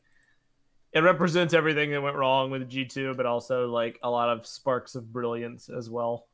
the community angle of G2, uh, the ability of what you can pull off with CCBS. It's an example of a of a cool you know model that isn't cookie cutter whatsoever. It is a Titan build through and through. Mhm. Uh, would it have worked as an actual set? Probably not, but because it's a, an anomaly, I like it. I like it a lot. Yeah, no, I, I agree. I also do really like it. But that's it. Um, our saga is at an end. I don't really know what the purpose, what, what, what like ending moral we can give this discussion, but I mean, those, those are our preferences. At the end of the day, if you like a Bionicle set, it doesn't really matter why. You can like it for any given reason. I like Lewa Mata, even though I will agree he's not a perfect set.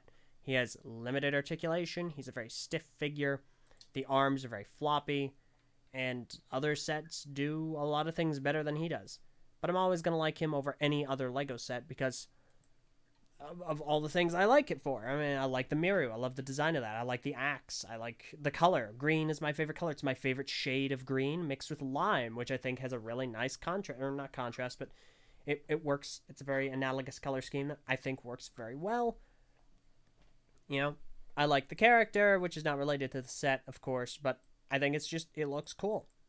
So at the end of the day, whatever set you like for whatever reason is totally up to you that's perfectly fine. At the same time, I think that's also perfectly justifiable to point out issues that sets have. Because as much as Bionicle sets aim to be toys that are fun to play with, there are other aspects to consider when you collect them. Like, do they look good being displayed? Do they look good being posed? Can they pose? Do the play functions interfere with posability? Does the posability interfere with play functions? There are a lot of things to consider and just because a set is bad to a large majority of people, maybe it's Ketar, maybe it's Umbra, maybe it's Solek, doesn't bar you from liking it. But there also is no harm in realizing, yeah, it could have been done better. Pretty much. This was a fascinating look through Bionicle's set design. And it is not the only conversation regarding set design we have, we will, we will have. There's a lot more to get into, namely like the progression of the design through the years and which is better and which is more important functionality or posability and launchers and gimmicks and all that stuff. The brittle pieces we didn't we barely touched upon. Mhm. So we'll probably revisit this subject, but yeah, I think that's a good place to end it. We will be foregoing Q and A this week. I think. Yeah, no, Simply unfortunately. we are uh, we are going to have a three-hour Yeah. podcast. Also, I gotta, I gotta get up again at four. Yeah, I'll say this: one question. Okay, all right. Go right now. I'll I'll do I'll do one. I- Uno. I thought you Uno already had question. picked out. Oh no. Just uh I'm saying I'll I'll answer one question. That isn't like a, a total meme. I think that's fair to say. Yeah, that's fine. one one question That's fine. That's fine. that that isn't a total meme because all these are memes. Shout out to you, a sponsored chat, you you meme lords. Sakota be typing. Sakota usually with those uh, epic inquisitions. Yep. Come on, Sakota, rapid type, type, type, type, type. I look forward to readdressing this topic when when your set hopefully comes out. Uh, so. oh man, this is a good episode though. This was a lot I'm, of fun. I'm amazed that it kept uh, it kept such an active uh, viewer base throughout. People like their uh, their Bionicle sets. Oh yeah, it's the core of the franchise. We'll see. Skoda's question: uh, What set has the best building experience? Oh, gosh dang that's such a good question. The Skull Scorpion Polybag from Quiet. G2. Um, Best building. No, the experience. Tahu Uniter Cape polybag You are killing me. had a great build. Um, best building experience.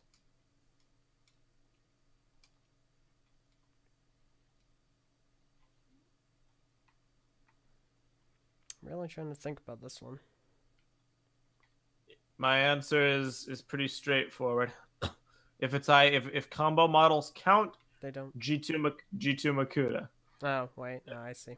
If if they don't, one of the vehicles. Um, depending on your your preference, not the Scopio, one of the other vehicles. I hesitate the to jet, say the the vehicles. Jetrax, the Jetrax, Axalara, or uh, or Thornatus. I hesitate to say one of the vehicles because you run the line of saying, well, it's a Technic set, and there are a lot of different tech- Technic sets. So I don't want to just sign off on that right away. I'm going to go out on a limb. I'm going to say Gadunka. Maybe he's not the best building experience. Gadunka or Maxilos and Spinax. I think between one of those two, you're going to get one of the best building experiences. Gadunka because he's simply so unique and he does a lot of creative things with the Inika build and Inika torsos. And Maxilos because he does a lot of things that are not typical of Bionicle figures. And you have a more standard figure in Spinax and then something far more interesting and creative in Maxilos. The only other thing I would offer outside of that would be Makuta 03. Mm-hmm. So between those three, I'd say you have a really a really good bet. Yep. I uh, I echo that. And then I'm gonna violate my my prior rule. I'm gonna do one more question Gosh dang it. from the YouTube chat, so I can do one and one. Okay. okay. Um, last one because there's a few really good questions. I see about uh, construction. Answer being, yeah, I'd like to see it return. Multiple people asked this, but like the question that I'm going to uh that I'm gonna uh, read is from Terra Drone, saying, if Bionicle were to come back sometime in the future, do you think the story be as complex as G1, or should it be dulled down a bit, but not to the extent of G2? My answer is very concise. I think that the story should not be dulled down. I think the delivery of the story should be consolidated. G1's story wasn't that complex, but it had a lot of methods of delivery. It had a lot of formats. It had a lot of canon overlap. It had a lot of different genres to get the full picture. I do think it should be consolidated down to a Ninjago uh, format, which is one one core, and then maybe some supplemental stuff, maybe a book or two detailing side stories. But I do think that it should have Bionicle the TV show. Um, it's basically it. Yeah, I find it hard. to delivery matters. Yeah, Yeah. no, that's fair. because a lot of people say G1's story is so complex, but like the expanded material made it complex. The serials made it complex. The actual Bionicle story was not that complex. Uh, Mhm. it was just spread out across a lot of different things. That's basically it. It's over. Okay. Thank you all for watching, Nak and Jay this week. Yeah. Uh, I'm gonna I'm gonna end it so Eljay can, can no, get no, some I, sleep. I, I, I, I can, I can wrap things up. All right, do it. All right. Well, thank you all so very much for watching. A few things to mention this at the beginning of the episode. However, we do have a message boards, TTV message boards, board.ttvchannel.com. It's in the description below. 13 years or older, you can join, sign up. It's free. Greg Farshtey, author of Bionicle and many other LEGO novels, is there. He answers questions from time to time. We also have a bunch of different topics. Right now, time of this recording, we have top 10 TTV channel moments 2019 poll. You can organize, you can vote for your, the top 10 moments we have selected and figure out the order of them. We also have two others, one for 2020 and one for all time since our channel is turning 10 years old this year. Additionally, we have a Patreon, patreon.com slash channel. Low as a dollar a month. You can join the Patreon chat and also help us toward our stretch goal of creating a full-time survival faction Minecraft server on the island of Mata Nui, which is, of course, a fun time. Additionally, Twitter at the TTV channel, at Mesonak and at the Eljay Johnsen. That's J O H N S E N. So you can follow for updates and video scheduling when we're on the ball with it. And I think that's it. That is it. It's been a journey. Thank you, everyone. We kept to 100 concurrent viewers. Uh, well, we just now dropped below. Why did I Thanks, say Meso. that? No, Roughly around 100. 100 for the majority of the stream's life. That's insane, especially for three hours of talking about sets. I Mhm. appreciate all of you. Uh, it really helps the morale, uh, keeping this going, knowing that people are liking it. So thank you all very much. Uh, and if you do have any feedback for what you'd like to see on the show, please let us know because we can talk about pretty much anything. Yep. Until then, go ahead and cue up the uh, music. Thanks all. I'm Meso, I'm Eljay. and this was streamed from a golden beach and was Nak and Jay. That works. We'll do that.